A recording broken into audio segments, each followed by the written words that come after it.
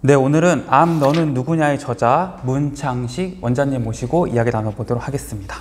잠깐의 구독자분들에게 자기소개 한번 할까요? 네, 안녕하십니까. 문창식입니다. 아, 저는 오랫동안 이 암을 치료하고 있는 의사인데요. 원래는 어, 일반외과 전공을 해서 수술도 많이 하고 했는데 뭔가 암을 치료하는 데 있어서 우리 현대의학만 가지고는 상당히 부족함을 많이 느꼈어요. 그래서 어, 여기에 암을 치료에 어, 도움을 줄 수 있는 통합의학을 접목을 해서 좀 더 환자들한테 어, 전인 치료가 될 수 있는 어, 그리고 완치를 목표로 할 수 있는 이런 치료를 하고자 어, 노력을 많이 했고 이를 통해서 우리 환자들한테 어, 조금 더 예, 어, 도움이 될 수 있도록 그리 노력하고 있는 그런 의사입니다. 그 지난번에 나와서 이제 그 설명해 주신 영상들이 많은 분들이 사랑해 주셔가지고 계속 조회수 올라오고 있습니다. 아, 이미 그래요? 10만회도 넘었고 20만회, 30만회 가고 있는데 네. 그동안 어떻게 지내셨는지 한번 근황에 대해서 말씀해 주시면 좋을 것 같아요. 예. 어, 요즘에 우리 유튜브 나가고 난 후로 우리 환자분들이 문의도 많이 오고 또 상담도 많이 와서 어, 상당히 지금 바쁘게 어, 그리 하고 있고 또 어, 우리 저를 보조, 보조하고 있는 우리 직원들도 어, 상당히 노력을 하고 조금 어, 힘들어하는 부분도 네. 어, 있는 그런 상황입니다. 그렇지만 하여간 어, 저희에게 상담을 요청하는 모든 분들한테 최선의 상담이 될 수 있도록 하고 치료가 될 수 있도록 그래 노력하려고 하고 있습니다. 그 이제 유튜브를 이제 보고 오시는 분들이 네. 원장님을 만나서 가장 많이 물어보는 게 어떤 거예요? 음, 이제 물어보는 부분들은 대개는 이제 제일 중요한 건 뭐예요? 네, 이제 어떻게 나올 수 있는가? 네. 음, 이제 이 부분이 이제 가장 이제 관심사고, 이제 거기에 들어가면은 아 현대의학만 가지고서 가능한지, 음, 또 이제 뭔가 현대의학을 하고 있는 분들은 불안한 이런 게 있잖아요. 그랬을 때 어떻게 보완할 수 있는 건지, 또 우리 많은 분들 중에 물어보는 것 중에 보면은 자연 치유를 가지고 이야기를 많이 하세요. 네. 어, 나는 어, 뭐 이런 너무 현대의학적인 부분이 음. 어, 어떤 부작용도 많고 그 이- 이런 오히려 어, 그런 부분을 하다가 나빠지는 사람들이 많다고 하는데 음. 그래서 현대의학을 안 하고 자연치유만 가지고 할까 하는데 어떻게 생각을 하느냐 음. 이제 이런 부분들이 상당히 이제 어, 질문이 많고 또 하나는 네. 앞으로 내가 미래가 어떻게 되겠냐 네. 이걸 이제 많이 물어보죠. 음. 예, 그래서 그 대부분 우리 환자들 공통적인 것 같아요. 음. 그렇지만 중요한 거는 최선을 다하는 거죠. 음. 그리고 한쪽에 치우친 치료를 절대 해서는 안 된다. 네. 그리고 암 치료라는 것은 의사가 주도한 치료가 아니고 음. 환자 본인이 주도하는 치료가 되어야 한다는 거. 네. 어, 저는 그런 부분들을 우리 환자들 많이 강조해요. 음. 제가 듣기로 이제 원장님을 음. 처음 만나는 환자분들한테는 굉장히 긴 시간을 할애해가지고 막 이것저것 설명해 주신다고 했는데 네. 주로 어떤 것들 그때 설명해 주시나요? 저는 우리 환자분들하고 되게 하다 보면은 시간이 좀 많이 가요. 네. 어, 막 옆에서 우리 직원들은 막 30분 안에 끝내라 하는데 하다 보면은 시간이 늘어나는데 저는 우리 환자분들한테 강조하는 게 네. 그거예요. 암이란 암은 상식의 치료라고 생각을 하거든요.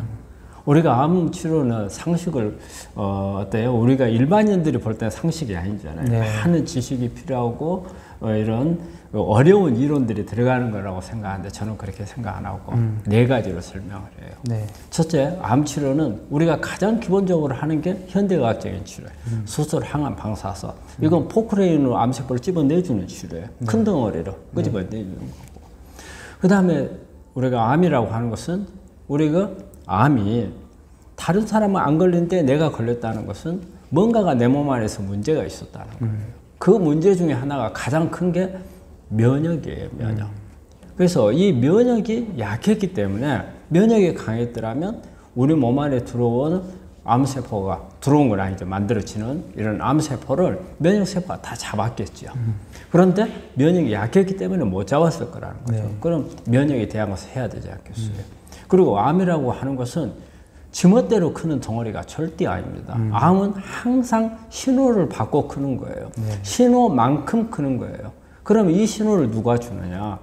우리 유전자가 신호를 주는 건데 우리가 정상적인 유전자는 필요한 만큼만 성장하도록 신호를 줘요. 네. 그런데 암세포는 변이가 일어나서 신호 때도 없이 성, 신호를 주는 거예요. 그러니까 어때요? 이 신호를 차단시켜줘야 되는 거예요. 이, 이거 어때요? 상식이죠. 차단시켜줘야 되겠죠. 네. 그 다음에 또 이 암세포가 환경이 지가 잘 끌 수 있는 환경이 만들어진다면 어때요? 안 걸린 사람들은 그런 환경이 몸 안에서 안 만들어지는 거예요. 네. 근데 암에 이완돼서 암이 성장하는 사람들은 환경이 만들어져요. 예를 들어 가지고 산성화가 돼 있다든지 어떤 음식 습관이 안 좋다든지 생활 습관이 안 좋다든지 스트레스가 많다든지 몸 안에 중금속이 축적이 돼 있다든지 그리고 주변에 매연이라든지 오염되어 있는 그런 환경이라든지 이, 이런 부분들이 다 그 암이 클 수 있는 환경을 만드는 거란 말이에요. 그래서 이 네 가지를 치료해 주는 게 암 치료의 기본이라고 생각해요. 그게 상식적이잖아요. 네. 당연히 우리가 개념할 때 암 치료 그러면 현대 의학적인 치료를 해서 혹을 집어내주고 혹을 집어내는데 포크레인은 섬세하지 못하잖아요. 네. 이런 부분들은 이제 조그만해져서 남아있는 분들 면역 세포라든지 이게 잡을 수 있도록 해주고 그 다음에 신호 주는 거 차단해주고 환경을 개선해서 암 세포가 살지 못하게 하는 환경을 만드는 거 이거예요. 다른 게 없어요. 그이 네 가지가 암 치료의 기본이고 상식이에요. 그러니까 그런 이제 기본적인 개념을 잡아주시는군요, 이제. 그렇죠. 어. 그 이제 암 환자분들 정말 수천 명, 뭐 수만, 일만 명 넘, 넘으시죠, 이제. 음, 아마 그렇게 바뀌었죠. 네. 그렇게 수많은 암 환자분들을 이제 진료하시면서 좀 느끼시는 게 있다면 어떤 걸 많이 느끼세요?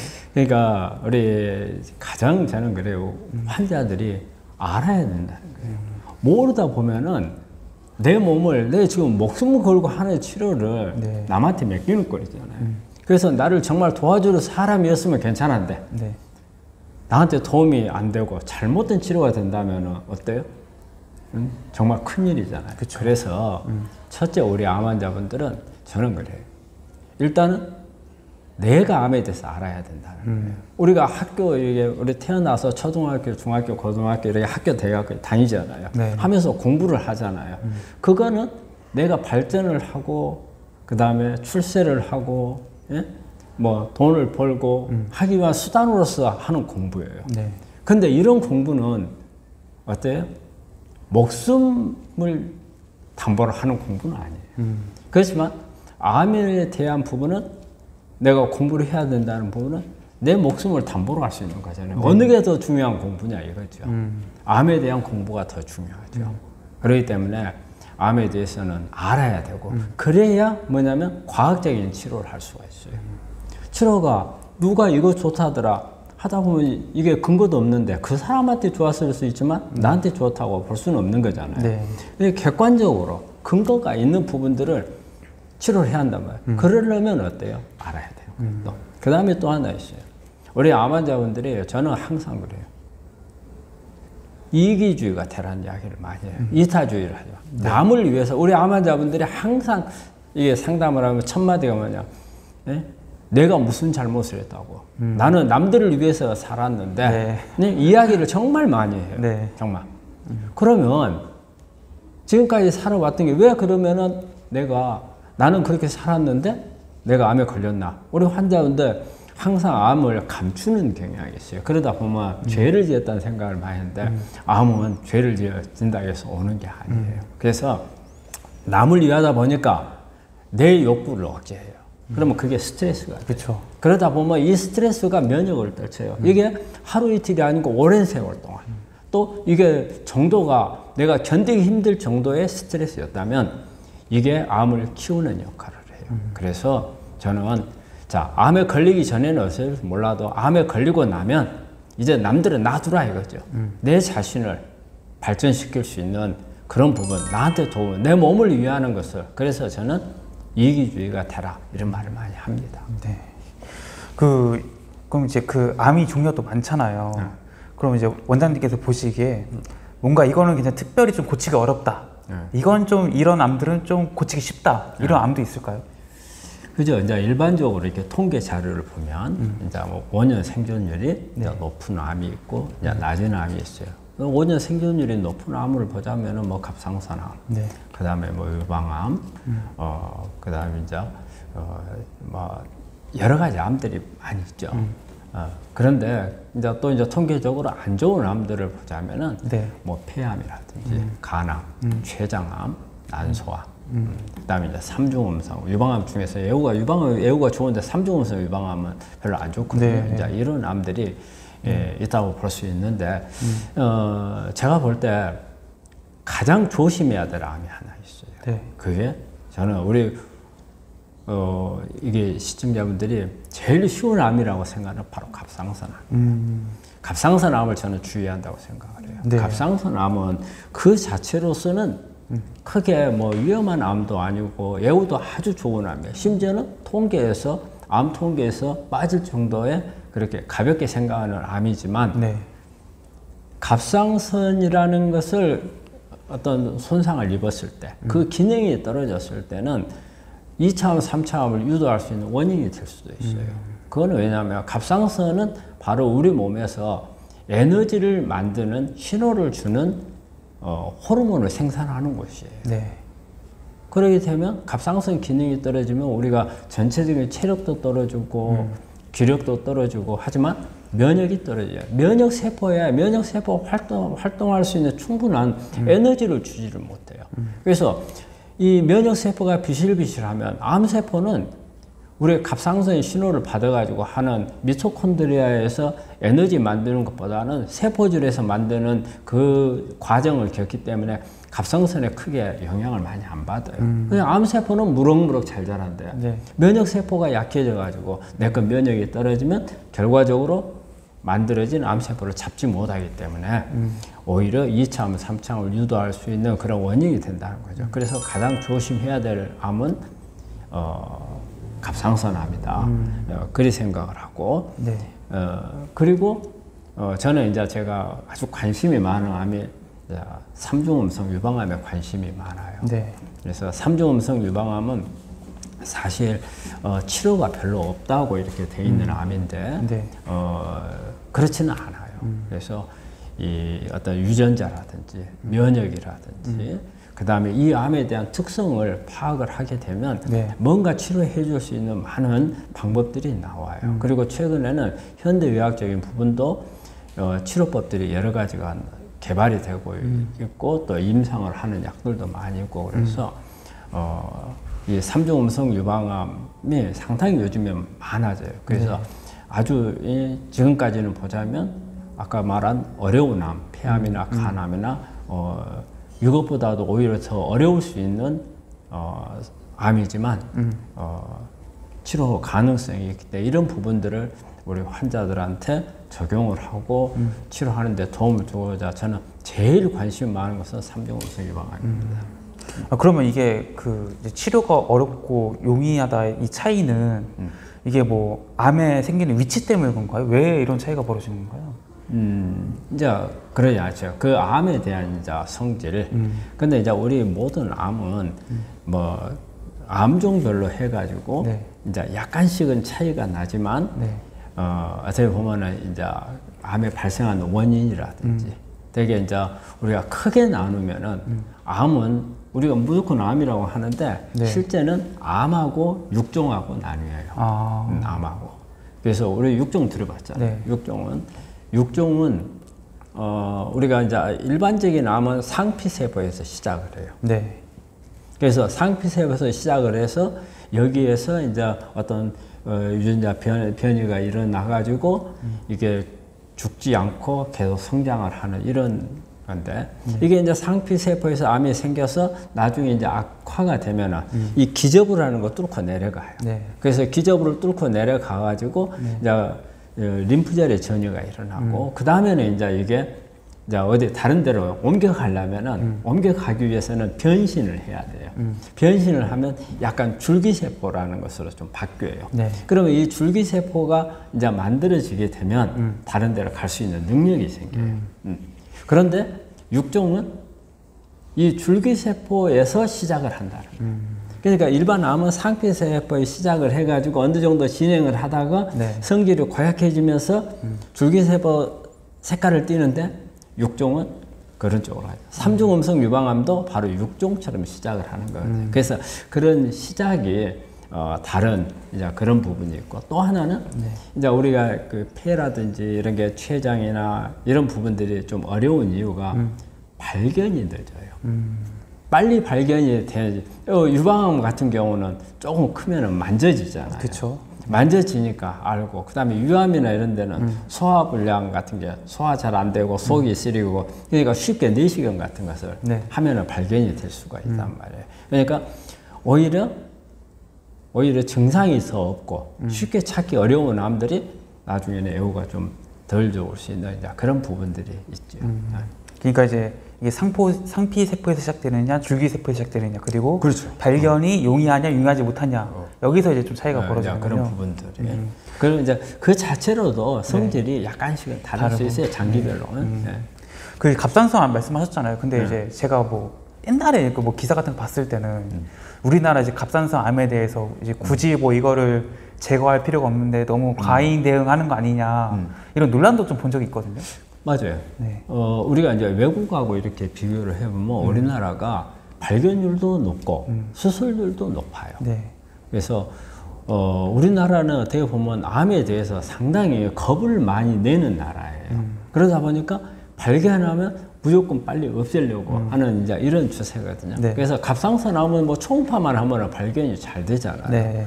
어, 그리고 이게 이제 뭐 림프절 전이라든지 이제 이런 전들이 잘 그렇게 일어나지 이제 그런 예, 않는 암이다 보니까 예, 우리가 예, 조금 더 관찰을 하고 볼 수가 있는데 아까 제가 이야기했듯이 갑상선이라고 하는 것은 제거를 하게 되면 기능이 떨어지면서 다른 면역에 영향을 주고 또 다른 암이 생길 수 있는 그런 원인이 될 수 있기 때문에 가능한 한 이것을 어, 살리는 방향으로 가는 게 좋다고 생각을 하는데 네. 실제 우리나라는 어, 발견하면 바로 수술해 버리죠.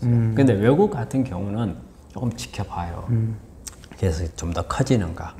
어, 그래서 만약에 이게 점점 커진다. 어, 쉬지 않고 커지게 되면 그게 암이잖아요. 네. 그러니까 아 이거는 어, 이거는 어, 제거를 하지 않으면은 그냥 어, 이 치료되기는 어렵겠다. 판단이 될 때 이제 수술로 어, 들어가는 경우가 많죠. 근데 요즘에는 최근에는 보니까 어, 이게 검사 기관에서 네. 조금씩 경과를 이렇게 처음부터 무조건 아 이건 어, 조직 검사하고 암이니까 수술해야 됩니다 이런 결론보다도 일단은 어, 경과를 사이즈가 워낙 적으니까 조금 경과를 보자 양성일 경우도 많이 있으니까요. 네.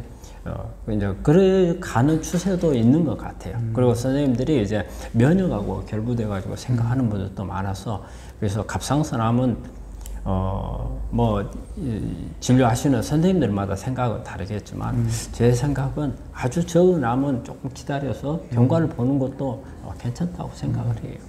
그 이제 지난번에 한번 이런 말씀하셨잖아요. 우리가 이제 암 치료를 이제 서둘러야 할 때하고 좀 서두르지 않아도 될 때 말씀하셨을 때 네. 제가, 제가 기억하기로는 이제 그게 이제 조직 검사를 했을 때는 이제 좀 서둘러야 된다. 그 후로는 근데 갑상선 암 같은 경우는 뭐 그렇게까지는 상관없는 건가요? 이게?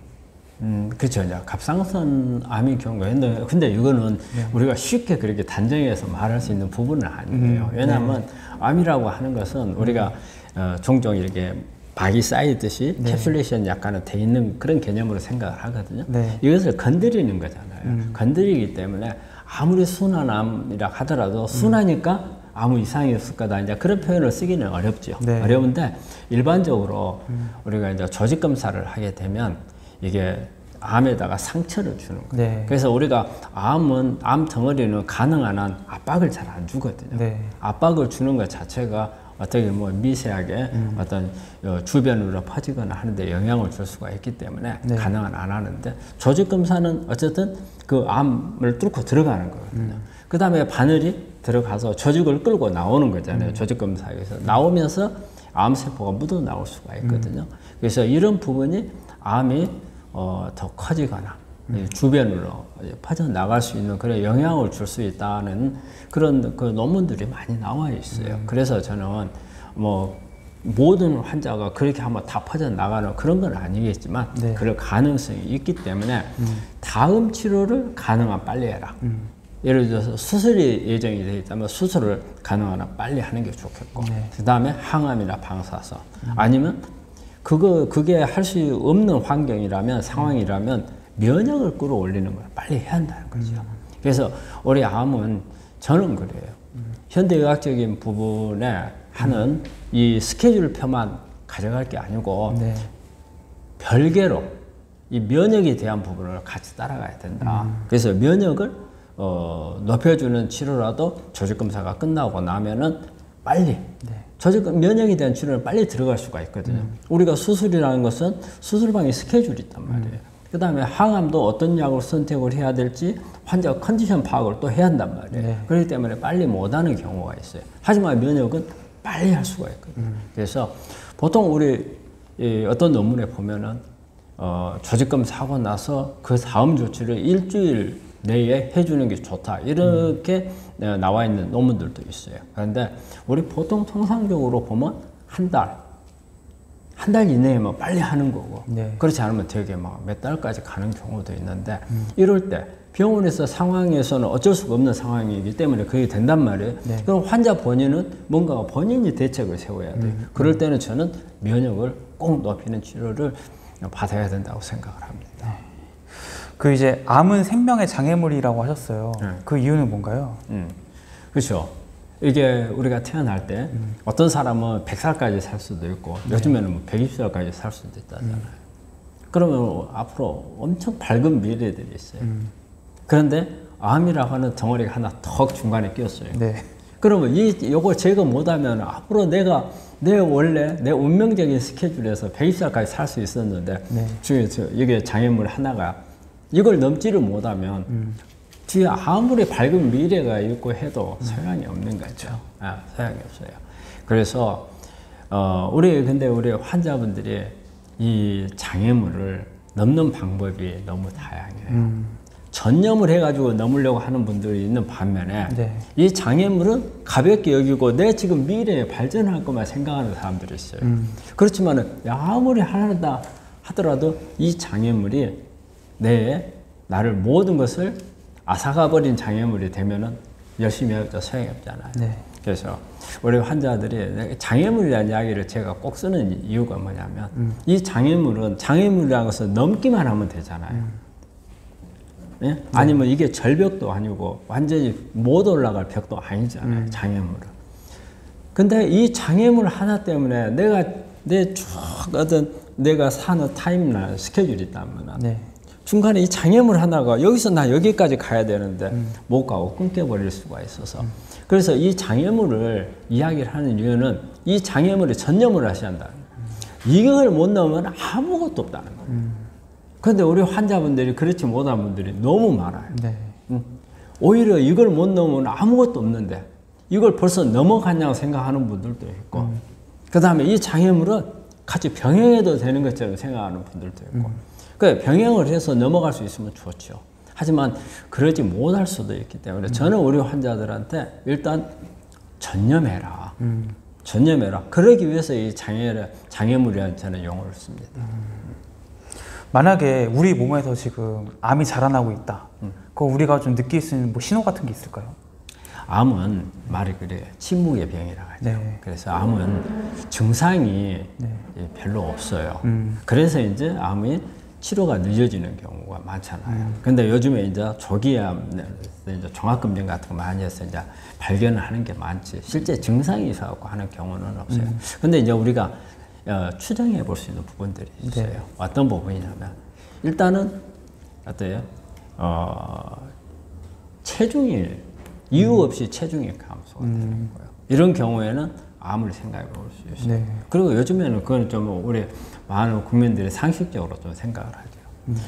그 다음에 생각할 수 있는 게 이 대상포진, 음. 어, 이런 바이러스 질환을 네. 생겼을 때 특히 옛날에는 어, 대상포진이 있으면 혹시 암이 있는가 해가지고 검사를 막 전체적인 검사를 하고 한 적도 있어요. 오, 네. 근데 요즘에는 대상포진을 가볍게 생각하지만 그렇거든요. 왜냐하면 이 바이러스하고 암에 대한 면역이 같아요. 그래서 어, 우리가 이 바이러스하고 암에 대한 면역이 T세포나 NK세포가 관여하는 면역이거든요. 네. 그러니까 바이러스 질환이 생겼다는 것은 면역이 떨어졌다고 보잖아요.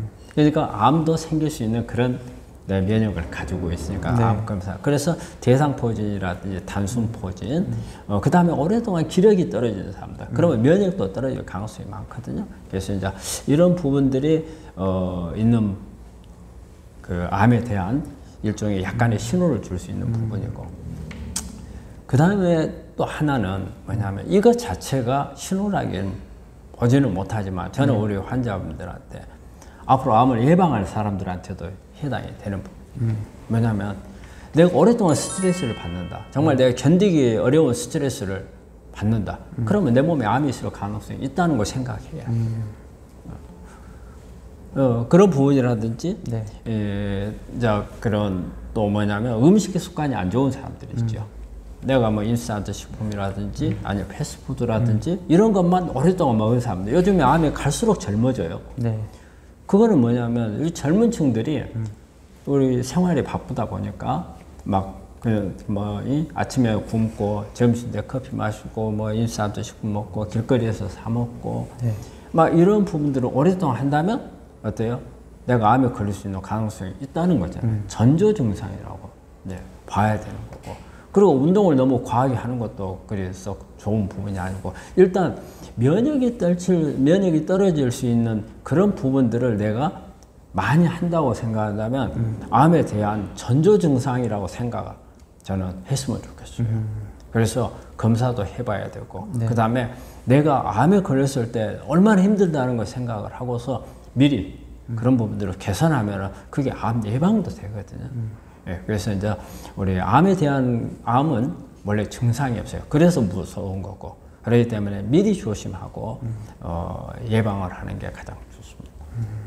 이게 진짜 신호가 딱딱 나와주면 바로 치료를 할 텐데 이게 그렇죠. 그러니까 발견됐으면 늦은 거죠 사실 어떻게 보면. 그러니까 이제 대개 요즘에는 종합검진에서 발견을 많이 하죠. 증상이 있어가지고 발견하는 경우는 대개 이미 한 3기, 4기 넘어가 버린 경우가 많죠. 어, 운 좋게 네. 발견했는데 그렇지 않은 경우도 있긴 있어요. 하지만 많은 부분에서는 증상이 나왔을 때는 일단은 좀 진행이 된 상태다. 네. 그 이제 암이 이제 유행을 발할 질환이 아니다라고 하셨는데 네. 이거는 이제 어떤 의미일까요? 그 암은 암에 걸렸어요. 네. 근데 나는 원래 체력이 좋았어요. 네. 그러니까 암 같은 거 뭐 그냥 잘 치료되겠지. 네. 현대의학 수술, 항암, 뭐 방사선 네. 받고 나면은 좋아지겠지. 음. 좋아질지 안 좋아질지 어떻게 알아요? 예? 그런데 우리 환자분들이 네. 암은 목숨 걸고 하는 치료인데 아 난 좋아질 거야. 그리고 교수가 좋아졌어, 음. 괜찮아 이 말을 100% 믿는 거거든요. 근데 암은 이 관해하고 완치하고는 구분을 해야 돼요. 음. 관해라고 하는 것은 말 그대로 보이지 않는다 그 말이에요. 네. 보이지 않는다는 것은 우리 몸에 암이 세포가 없다는 뜻이 아니에요. 음, 검사를 해보니까 안 나오더라고 말이에요. 그렇지만 아주 조그만 암 세포, 세포들이 어느 구석에 있는지 그거는 알 수가 없고, 그 다음에 그 암 세포가 내거 면역에서 그냥 죽어버릴지, 정말 커가지고 재발이나 전이로 나올지 모르는 거고, 또 하나 그 사람이 가지고 있는 체력하고 암의 면역하고 절대 비례치 않는다는 걸 말씀을 드리고 싶어요. 우리 환자분들이 항상 그래요. 나 체력이 좋으니까 나 면역은 좋아요. 이런 말을 해요. 면역하고 체력은 절대 그렇지 않습니다. 만약에 면역하고 체력이 같다면 운동선수들은 절대 암에 안 걸려야 돼요. 그죠?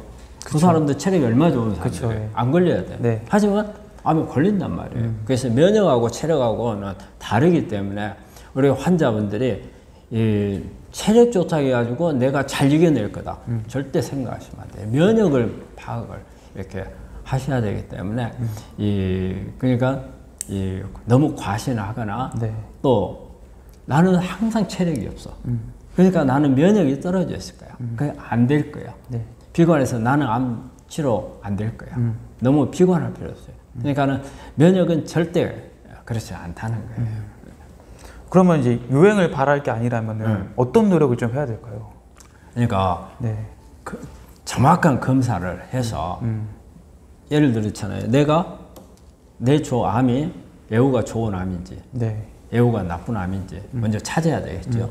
그 다음에 그걸 찾고 나면은 그렇지만 그 암도 100% 아는 건 없는 거예요. 애우가 좋다고 해서 나는 무조건 애우 좋은 축에 들어갈 거라는 건 아니잖아요. 네. 그 중에서 안 될 수도 있는 거죠. 네. 그러면 내가 가지고 있는 암 중에서 암이 내 암을 분석을 해야 돼요. 내 암을 분석을 뭐 유전자를 보면 분석이 되고 면역을 보면 그다음에 내 환경을 보면 분석이 되거든요.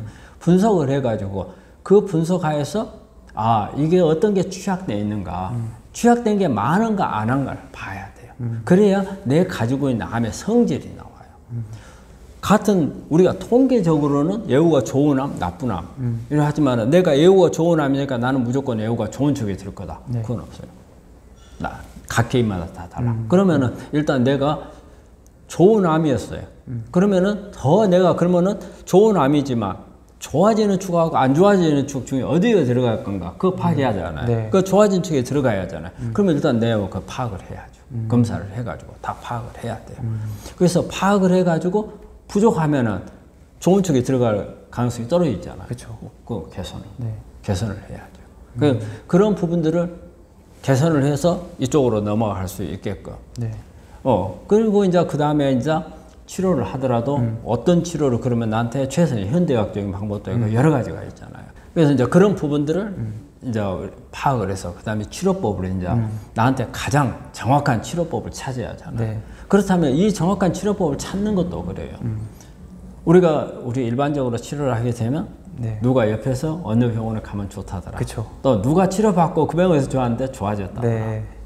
그 다음에 뭐 방송에 나와가지고 저 사람이 유명한 분이라. 네. 또 어느 병원이 잘한다더라.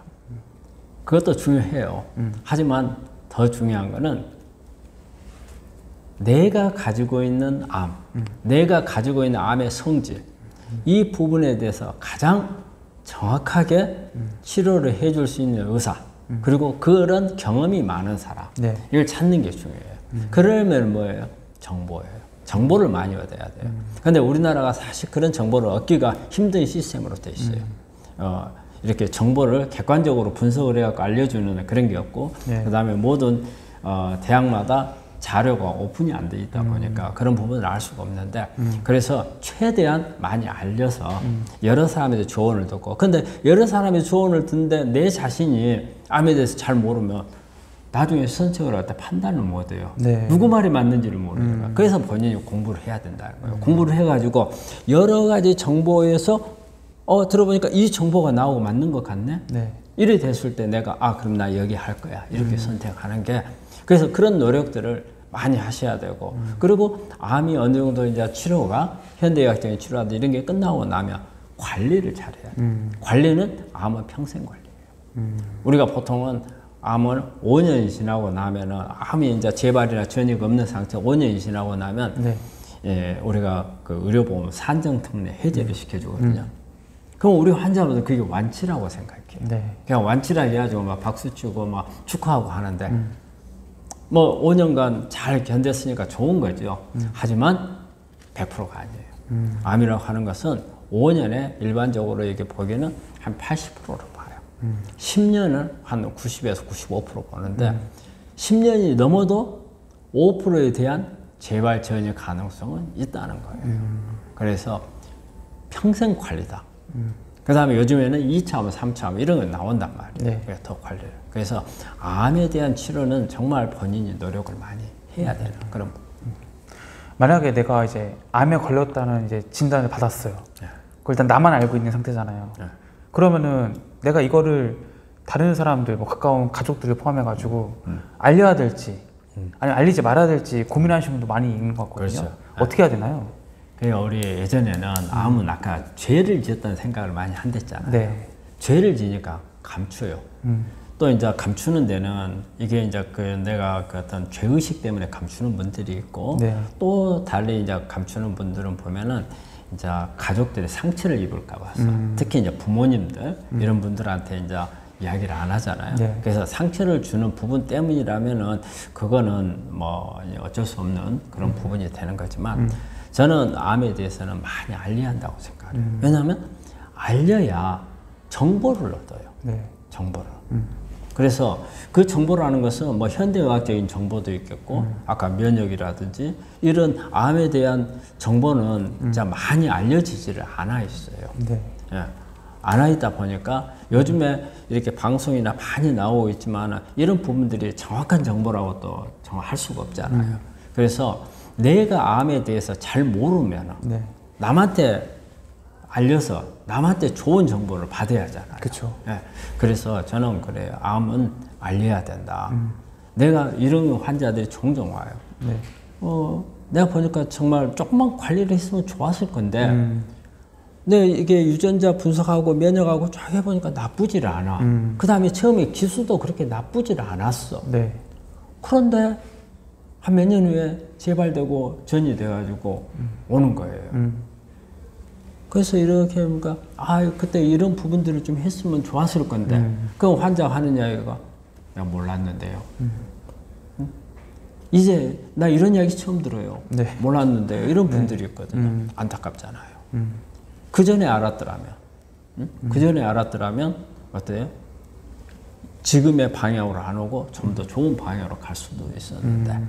그래서 암은 병은 말이 그래요. 병은 알려야 된다는 말을 하잖아요. 네. 그렇듯이 암도 마찬가지로 음. 알려야 되고 암은 절대 죄의식을 가지고 그런 병이 아니에요. 암은 암은 알려서 나 선한 사람입니다 할 그게 암이에요. 음. 암은 이타주의를 가지고 있는 사람들이 잘 걸리기 때문에 네. 얼마나 남을 위해서 살았으면 네가 암에 걸렸느냐 음. 이런 생각을 할 수 있는 병이 암이에요. 그래서 알려야 됩니다. 음. 그럼 만약에 암에 걸린 당사자가 이제 내가 암이란 걸 알렸어요. 응. 그럼 이제 이걸 듣는 사람은 사실 당황스럽긴 하잖아요. 음, 그렇죠. 어떤 말을 해줘야 될지도 모르겠고. 응, 응. 그 들은 사람 입장에서는 암 환자들한테 어떤 말을 해주면 좋고 어떤 말을 해서는 안 될까요? 그게 이제 사람마다 이제 다 차이가 많죠. 네. 예, 그러니까는 이제 사실 이제 그 우리가 이제 위로하는 거잖아요. 음. 위로를 하는데 너무 환자한테 너무 너무 안 됐다 이렇게 표현하면은 네. 이 환자 충격을 더 받아요. 그렇죠. 어, 네. 어. 그래서 내가 위로할 때는 음. 그게 제일 좋은 것 같아요. 요즘 세상에 얼마나 좋은 치료법들이 많은데, 음. 예? 어, 그리고 누구도 잘 나왔고, 누구도 잘 나왔고, 옆에 네. 사례도 좀 이야기 좀 해주고, 네. 예? 어, 그뭐 가족들 중에 누구, 내 가족 중에 누구 너하고 똑같은 암 알았는데, 아, 좋아졌다든가, 그런 부분들 이야기해주고, 그런 긍정적인 위로. 음. 예, 그런데 같이 아, 아픔을 나눈다 해가지고 같이 울어주고 막, 아, 이거는 도움이 안 되는 것 같아요. 예. 그러니까 이제 뭔가 이렇게 해서 나았더라라는 뭔가 방법이나 정보 같은 걸 좀 주면서 이야기하는 게 좋다. 그렇죠. 음. 예. 그러면은 원장님이 보시기에 이제 수많은 사람들이 암을 이제 고치셨잖아요. 음. 그 암을 이겨낸 사람들에게서 보이는 뭐 공통점이나 뭐 특징 같은 거 있을까요? 예. 예, 암을 이겨낸 사람들 보면은요, 네. 제일 먼저 보는 게 일단 긍정적이에요. 음. 예. 이게 암에 대해서 자신감을 갖는 사람들이 있어요. 네. 아, 암이 이게 별거 아니야.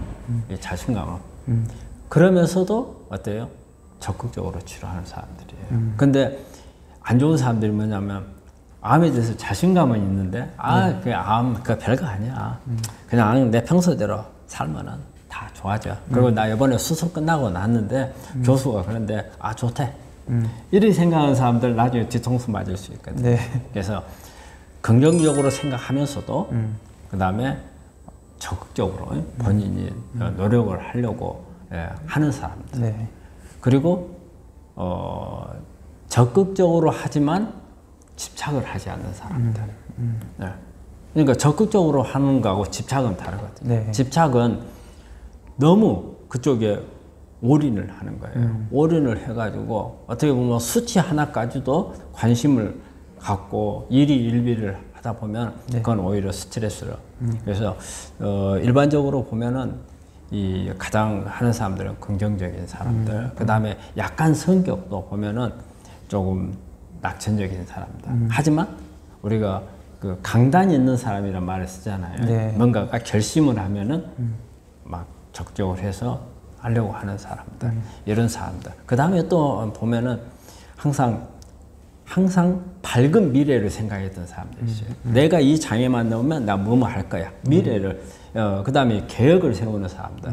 그래서 끝나고 나면 어, 나는 이 다음에 이 무엇을 할 거야. 그 다음에 내가 지금까지 살면서 내가 참 이런 건 있는데 이런 성격이었는데 앞으로는 좀 밝게 내가 항상 뭔가 비전을 이렇게 어, 생각하는 사람들. 어, 그리고 자기 몸을 잘 관리했던 사람들. 그러니까 내 생활은 그대로 하면서 좋아지기만 여행 가는 사람 그건 아니잖아요. 음, 네. 생활 습관도 고치고, 예? 그다음에 운동도 어, 좀 체계적으로 열심히 하고, 그리고 가능한 한 스트레스 같은 거 이런 것을 피하는 방향으로 가고, 그 다음에 암이라는 것 자체가 올인을 해서 어, 내가 장벽을 넘으면은 그 다음에는 내 앞에 펼쳐진 미래가 있다. 그렇기 때문에 옆에서 옆으로 이 뭐랄까 이 내 방해되는 부분들을 전부 피하려고 했던 사람들.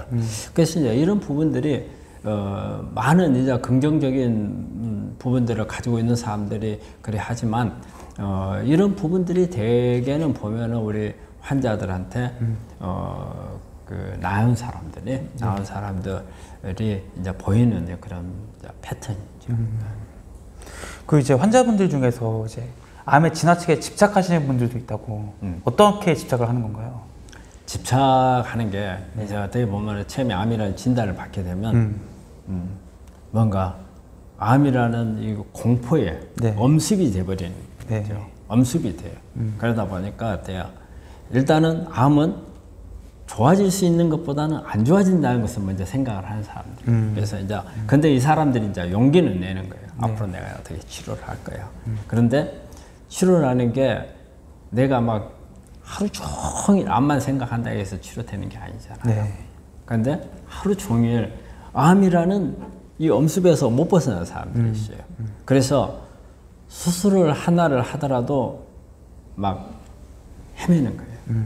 왜냐하면 이 방법이 좋을까, 저 방법이 좋을까, 막 분석을 하고 네. 그래서 시간도 늦어지게 돼요. 집착을 너무 하다 보면. 그리고 이제 검사를 하더라도 수술 끝났어. 그다음에 이제 항암도 끝나고 다 끝났어. 근데 이제 겁나는 게 재발 전이잖아요. 그러면 재발 전이가 될까 해가지고 중간중간에 검사를 해요. 네. 근데 아 이 전번에 검사가 2였어요. 네. 근데 이번에 3이 됐어. 네. 그럼 왜 3이 됐지? 정상 범위 내가 있어도 그래요. 우리가 1부터 뭐 10까지가 정상이다. 그러면 2, 3, 4, 5, 6, 7까지는 정상이잖아요. 근데 3에서 4로 바뀌었어.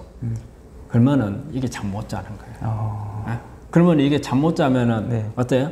아침에 일어나면 눈이 퀭해지겠죠? 네. 예? 체중도 빠지겠죠? 네. 품은 뭐예요? 내가 체력도 떨어지지만 면역이 떨어지고. 그러면은 이 우리 면역 세포가 잘 이게 잡을 암 세포도 면역이 비실비실해져 오히려 더 못 잡아요. 그래서 이 집착이라는 게 저는 우리 환자들한테 참 안 좋다고 생각을 하고 우리 집착을 하고 있는 사- 환자라고 생각하면 내가 겁이 나요. 그래서 저는 이렇게 막 차트 자기 그 진료 기록을 정리를 해가지고 분석을 해가지고 몇월 며칠 날 검사한 데이터하고 그 후에 데이터 이전치 데이터 이렇게 막 비교해갖고 쫙 가서 늘어놓고 설명하는 환자들 그렇게 바람직하지는 않다고 생각을 해요. 그래서 암이라고 하는 것은 관심을 갖고 적극적으로 치료를 해야 되지만 네. 집착을 하면은 이게 나중에는 스트레스가 떨어져서 나중에는 면역이 떨어지게 되고 오히려 어, 암이 나빠져 버릴 가능성이 오히려 더 높아요. 그래서 집착을 하면 항상 그래요. 내 상태보다 나빠질 가능성이 많다. 절대 적극적으로 이렇게 하루 종일 거기에 매인다는 것은 치료에 도움이 되지 않는다. 어, 그래서 과감하게 좀 생각하실 필요가 있다. 그래서 하여간 집착은 건물입니다. 근데 그 원장님께서 이제 표현하신 집착이 음. 환자 본인의 입장에서는 나는 철저하게 관리하는 거다. 그렇죠. 라고 생각할 수 있잖아요. 그렇게 생각한다고요. 네. 대부분 환자도 그렇죠. 네. 그런데 내가 전에 우리 어떤 환자분한테 어, 환자분 이거 바인더 이거 만들지 않는 게 안 좋아요. 음. 예? 그리고 이거 수치 하나 가지고 아무 차이가 없어요. 네. 이 이게 아무 의미도 없는 거고 이 정상 범위 안에 있으면은 예, 괜찮습니다. 이거 안 하시면 안 돼요. 그랬더만 한 원장님은 암 알아, 예, 알아보지 않았죠. 그래서 예, 안, 알- 안 왔습니다. 네. 그러니까 그러죠. 한번 알아보세요. 나처럼 되죠. 어, 그래서 내가 그러죠. 그래요, 맞아요. 맞아요. 저는 근데 내가 알아보지는 않았지만 내가 환자를 보고 있잖아요. 환자를 보고 있는데 대부분 환자들은 선생님처럼 바인드 만들어 갖고 와서 이렇게 하는 분들이 별로 없어요. 그리고 그걸 안 만들더라도 치료 잘 하고 좋아져 가지고 완치해서 가족들하고 기뻐하고 하는 사람들 많아요. 근데 이거 자체가 선생님 이거 하루 종일 이 데이터가 변할까? 그 다음에 검사가 있으면 그 전날 잠 못 자죠. 내일 검사 혹시라도 뭐가 또 잘못 나오는가 네. 싶어가지고 오히려 좋은 게 나온 것보다는 안 좋게 나오는 걱정이 더 많잖아요. 그렇죠. 음. 그렇기 때문에 이게 스트레스가 되는 건 맞잖아요. 예? 어, 맞죠. 그러면 그거 하지 마세요. 근데 벗어나 힘든데 어떻게 해요, 이러는.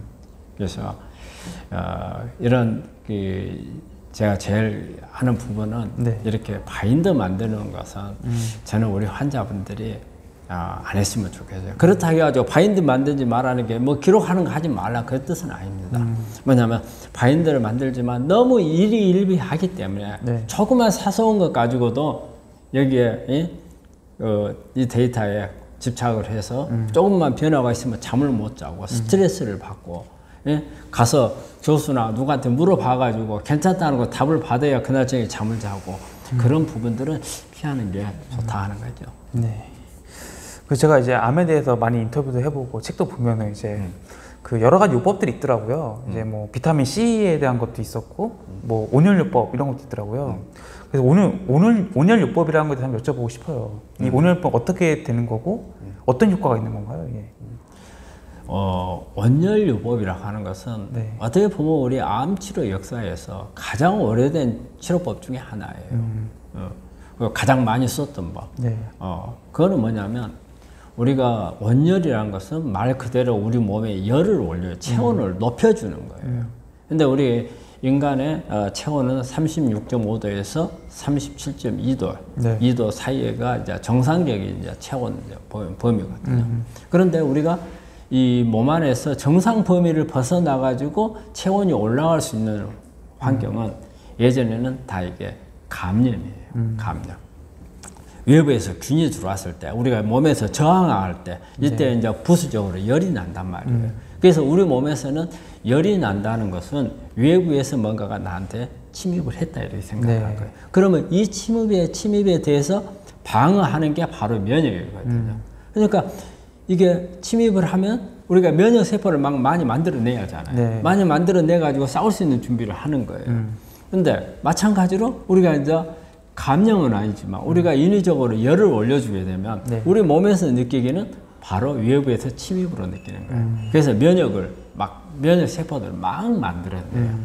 그래서 이 면역이 높아지면 바로 이 면역 높아진 면역이 면역 세포가 암 세포를 죽이는 개념. 이게 이제 기본적인 이제 온열 치료를 하는 이제 그런 개념인데 예전에는 우리가 이제 어, 어떤 질환을 앓고 나서 보니까 어, 이 아주 고생을 하고 뭐 혼수에 빠질 정도로 뭐 고열이 나는 질환을 앓고 나서 보니까 암이 없어져 버렸더라.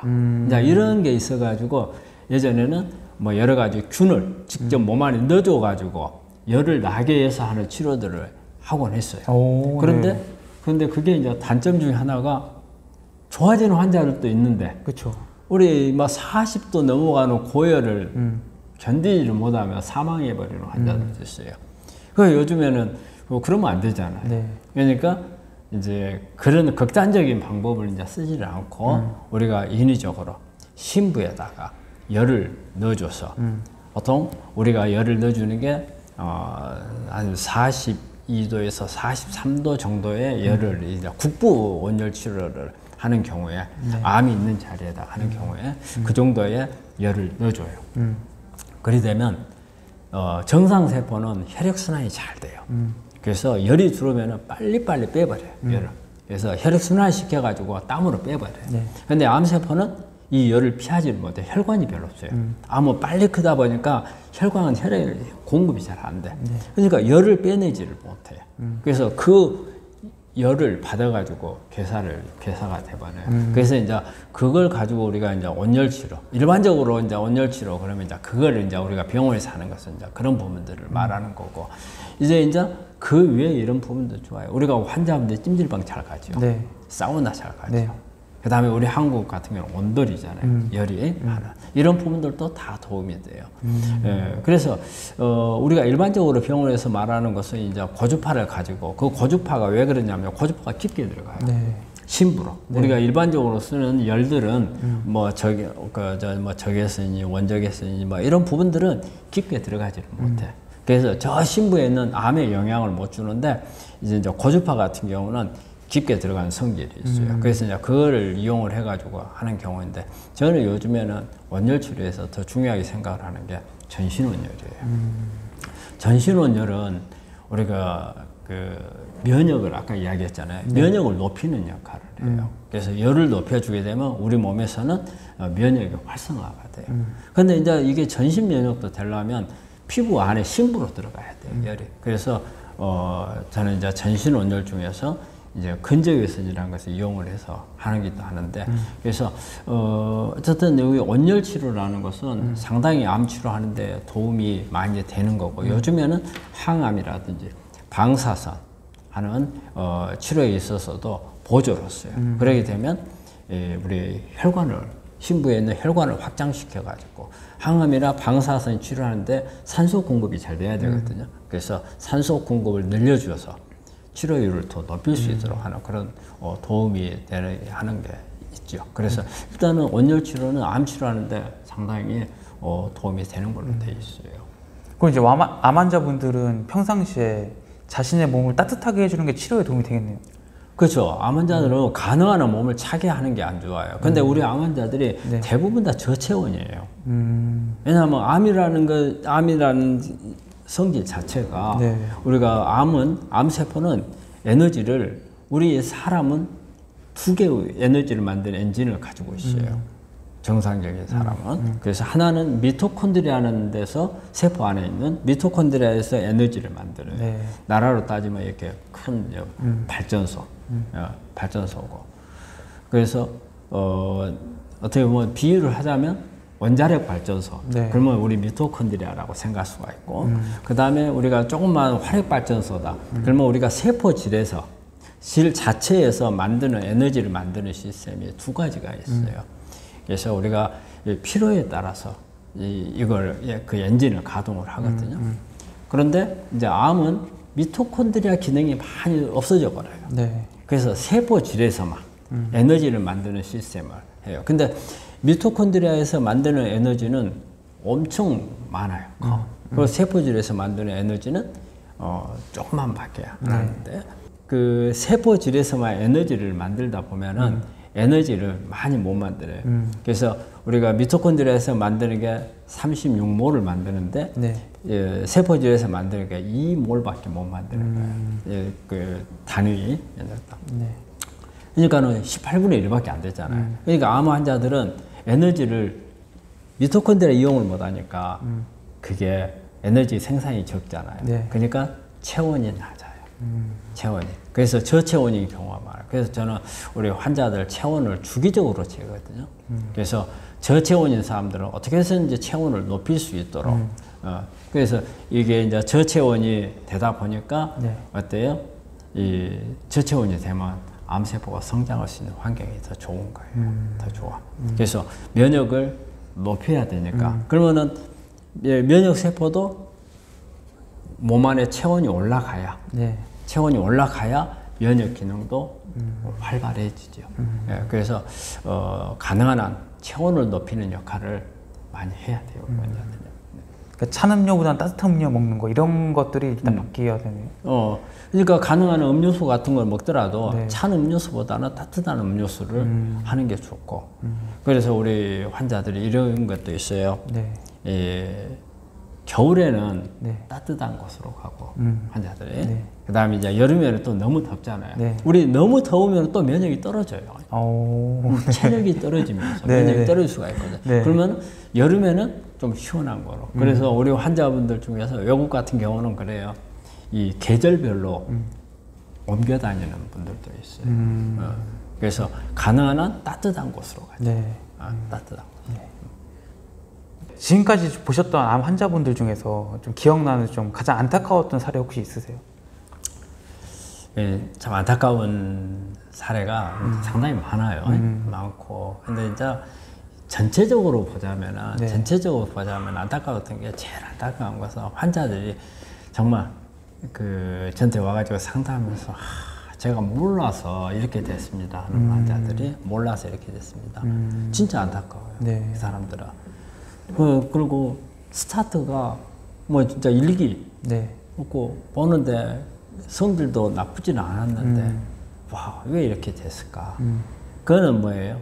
몰라서도 그렇고 관리를 잘못한 거거든요. 음. 근데 환자가 이런 상황이 될 거라고 알았다면 절대 이래 안 했겠죠. 네. 예. 근데 그렇다면 원인이 본인의 성격 때문에 네. 그랬을 수도 있고 본인의 어떤 생활하는 상황 때문에 그럴 수도 있고 예? 또 아니면 진짜 너무 과신해서 그럴 수도 있겠지만 어쨌든 정말 좋아질 수 있는 사람이 나빠져 갖고 왔을 때는 상당히 안타깝고 그 다음에 또 이런 환자들이 있어요 보면은 제가 이제 경험한 환자들 중에서 아까 이타주의 이야기했잖아요 네. 너무 이타주의에 젖어 있는 사람들, 음. 그걸 벗어나지 못해 가지고서 한 사람들, 음. 어 보면은 제가 이 우리 환자들 보면은 어 자기 몫이 없는 사람들이 있어요. 네. 내 몫이 없는 사람들. 네. 내가 열심히 벌고 했던 부분이 음. 자기가 쓸 게 아니라고 생각하는 환자들 종종 있어요. 이런 환자들은 어, 정말 좀 예, 안타깝고, 네. 근데 그런 분들이 치료가 잘 안 돼요. 보면. 왜냐하면 자기 자신을 위할 줄을 모르니까 이 자식들이란지 남한테 어떤 베풀기는 베풀어요. 근데 이걸 이걸 가지고 자기가 만족을 하지만 자기 몸 어디에선가는 이게 스트레스란 말이에요. 인간이라는 것은 인간은 항상 마지막에 가면은 자기 자신밖에 없는 거예요. 방어라는 게 있잖아요. 그런데 그 부분을 이게 희생해 가면서 한 분들이 참 많아요. 그래서 그런 분들 보면은 안타깝고 전에 뭐 여러 케이스가 있었어요. 네. 어, 뭐, 이 자기 자식들한테 뭐집한 채씩 나눠줘야 되는 것이 내 것이 없고, 생활비가, 예? 생활비 애들의 생활 능력이 있으니까 내가 생활비 애들 다 대줘야 되니까 네. 내가 먹을 것도 없고, 내가 입을 것도 없고, 네. 그러니 내가 어떻게 무슨 내가 어떻게 내가 치료를 해야 음. 나한테 쓸 치료비는 없다. 이렇게 생각하는 사람들. 그 부분은 이미 자기 그런 생각 때문에 이미 져버린 거예요. 어, 그런 사람들. 그 다음에 또 어떤 이 자기가 그 스트레스를 받아서 암에 걸렸다고 생각을 하는데 왜냐하면 이뭐 돈을 특히 네. 금전 문제 그런 그쵸. 분들이 상당히 많아요. 그래서 뭐한 1년 전에 뭐 돈을 이 빌려줬는데 떼었다. 못 받았다. 그래서 우리 환자한테 물어보면 그럼 어떻게 하면 낫겠습니까? 하면 내가 그 돈을 받아야 낫겠다. 이런 사람 누가 그러면 돈 떼먹은 사람이 나으라고 돈 주겠어요? 그럼 못, 못 받으면 못 낳는다는 뜻인데 그러면은 어때? 그 돈을 못 받으면 못 낳는다. 뭐 그러면 이제 암에 졌다. 이것밖에 안 돼. 그래서 그런 분들이 참 예, 하면서 뭐라고 말할 수도 없고 참 예, 안타까운 분들이고. 예. 근데 이게 이제 정리를 하자면은 네. 그래요. 일단은 본인 자신을 위하는 사람들이 예, 이 되어야 아, 되는 거고 네. 예.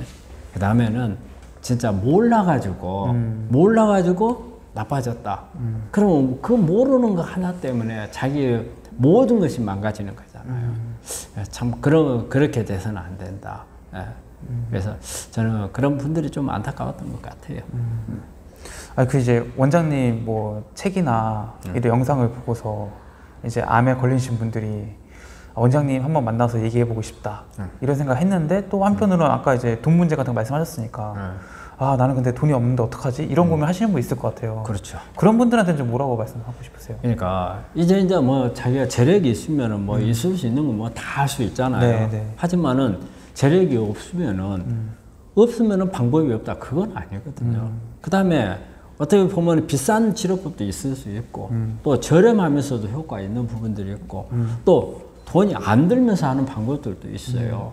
그러면 내가 가지고 있는 상황에서 뭐가 최선인가 그걸 찾으면 되거든요. 저 우리 환자들 오면은 어떤 치료 해야 됩니다 강요는 안 해요. 네. 어떤 부분이 필요합니다만 이야기를 해요. 그래서 그 그게 만약에 어떤 레벨이 있어서 이 레벨이 안 맞나 뭐 그 밑에 것을 찾으면 되거든요. 그래서 이게 암이라고 하는 게 무조건 돈만 가지고 치료한다는 그런 개념은 아니에요. 그리고 얼마든지 내가 처한 상황에서 최선을 다할 수 있는 방법들도 있어요. 네. 그래서 어, 요즘에 암 치료하는데 돈이 많이 들어요. 많이 드는데 그래서 포기할 필요는 없다는 거죠. 얼마든지 할 수 있는 방법이 있고 또 이야기를 어, 하다 보면은 어, 의외의 돈이 안 들면서도 할 수 있는 방법들이 나오기 때문에 네. 어, 아, 저한테 오면은 그런 부분도 저는 상담을 해드려요. 그암 환자분들 중에서 이제 긍정적인 분들이 있고 되게 부정적인 분들이 있잖아요. 아까 뭐 낙관과 비관 말씀하셨듯이. 그런 차이는 어디서 비롯된다 생각하세요?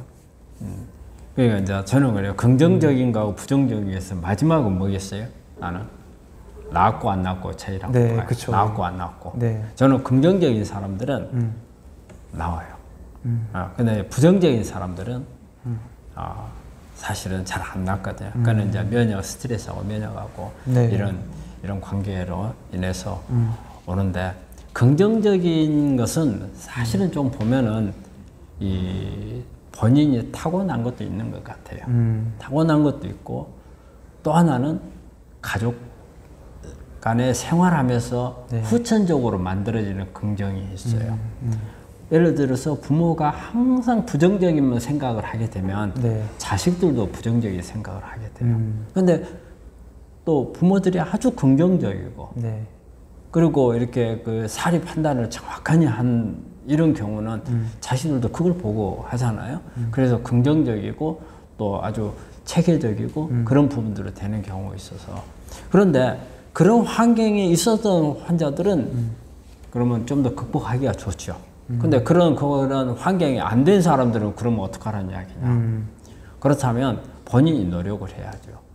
그 본인이 노력을 해가지고 긍정적이 되려고 노력을 해요. 근데 노력한다 해갖고 다 되는 게 아니란 말이에요. 나는 긍정적이 되고 싶은데 내 머릿속에서 내 본능이 그리 따라오질 못하는데 어떻게 해야 이런 분들이 있잖아요. 그래서 이런 분들한테는 저는 그래요. 저 같은 상담을 해주는 사람이 필요하고 네. 또 심신요법이 필요하다고. 우리 저 같은 사람들한테 필요한 부분들은 우리 사람은 이성적인 생각을 말해요. 그 다음에 어떤 데이터를 중요시해요. 그럼 우리가 보면은 이런 데이터를 가지고 환자들한테 긍정적 당신은 이래. 이 상황이 있는데 뭐가 나쁘다고 생각을 해? 이러면은 당신 좋아질 수 있어. 왜 너무 당신이 가지고 있는 상황보다 당신이 너무 비관적으로 생각해. 그러면 이런 분들이 오히려 좀 더 긍정적이 되고. 그 다음에 앞으로 당신한테 이러이러한 치료법들이 있어. 네. 네. 그 다음에 당신이 버티면 요즘에 임상으로 나와 있는 새로운 방법들이 있으니까 언젠가는 이 방법을 당신한테 쓸 수가 있고 이런 방법들은 지금 예후가 몇 프로까지 좋아지는 이런 부분들이 나와. 네. 예, 그런 부분들을 알려주는 게 긍정적으로 만들 수 있는 부분이 있고 또 하나는요 심신요법이에요. 저는 우리 환자분들한테 심신요법을 좀 열심히 하라고 생각을 해요. 네. 그래서 제가 우리 환자들한테 우리 유도 심상이라든지 뭐 아우토겐이라든지 여러 가지 미술 치료라든지 많은 것을 적용을 해봤어요. 그런데 생각보다 안 돼요. 그것은 뭐냐면 우리 환자분들이 마음이 급하니까 네. 당장에 나를 치료해 줄 수 있는 어떤 치료법만 찾는 거예요. 그러다 보니까 근본적으로 자기 자신이 마라톤을 한다 생각을 안 해. 100미 달린다는 생각을 우리 환자분들이 많이 해요. 근데 암은 100미 달려갖고는 절대 안 돼요. 마라톤이에요. 장기로 뛰어야 돼요. 그러면 장기로 뛰려면은 마라톤 할 때는 아무 생각 없이 그냥 100m 달리기만 하면 돼요. 그렇죠. 어. 근데 마라톤은 어때요? 가다가 체력 안배도 해야 하잖아요. 그리고 막 너무 막 처음에 막 너무 오버해버리면 나중에 못 뛰잖아요. 네. 그러니까 그런 부분들을 장기적인 계획을 세워갖고 하면 이때는 어떤 게 있냐? 심신요법이 들어오는 거예요. 이 안에. 그래서 내가 저기까지 마라톤을 42점 몇 킬로를 뛰려면 지금부터 내 마음가짐을 어떻게 해야 되겠다. 그 다음에 내 저기까지 체력을 어떻게 안배를 해야 되겠다. 그 다음에 중간에 가다가 내가 좌절할 수 있는데 이것은 어떻게 극복을 해야지 음. 이런 부분들을 생각을 하거든요. 그래서 그런 부분들이 잘 안 될 때는 심신요법이 우리 암 환자들한테 꼭 필요해요. 근데 우리 환자들이 아니 내가 심신요법 해봤자 해봤자 내가 머릿속에서 안 되는 걸 어떻게 해야? 근데 우리 그 과학적인 근거가 뭐냐면 세뇌라는 게 있어요 세뇌. 세뇌라는 게 있잖아요. 우리가 그 미전향 장기수들 우리 네. 사상적으로 북한하고 남한하고 할 때 공산주의하고 네. 자유주의하고 근데 우리가 북한보다 잘 살잖아요 음. 잘 살면은 당연히 우리 그 사상적으로 전부 다 이 자본주의를 좋아할 것 같은데 의외로 안 그런 사람들 있잖아요. 예. 그게 뭐예요? 만약 그걸 알면서도 벗어나지를 못하는 이게 세뇌거든요. 음. 그러면 우리 환자들도 자신을 세뇌시키는 필요가 있어요. 음. 그러면 자신을 세뇌를 시키다 보면 자신이 정말 변해. 음. 긍정적으로 바꿀 수 있고 자신감도 생길 수도 있고 극복할 수 있는 힘도 생기거든요. 음. 그래서 하면 되는데 한 가지 문제가 있는 게 우리 한국 사람 또 한단 사람들이 있잖아요. 네. 시작을 해가지고 오래 가지를 못해. 하다가 안 되는데 하고 말아요. 근데 심신요법은 단기에 효과가 안 나요. 음. 시간이 길어요.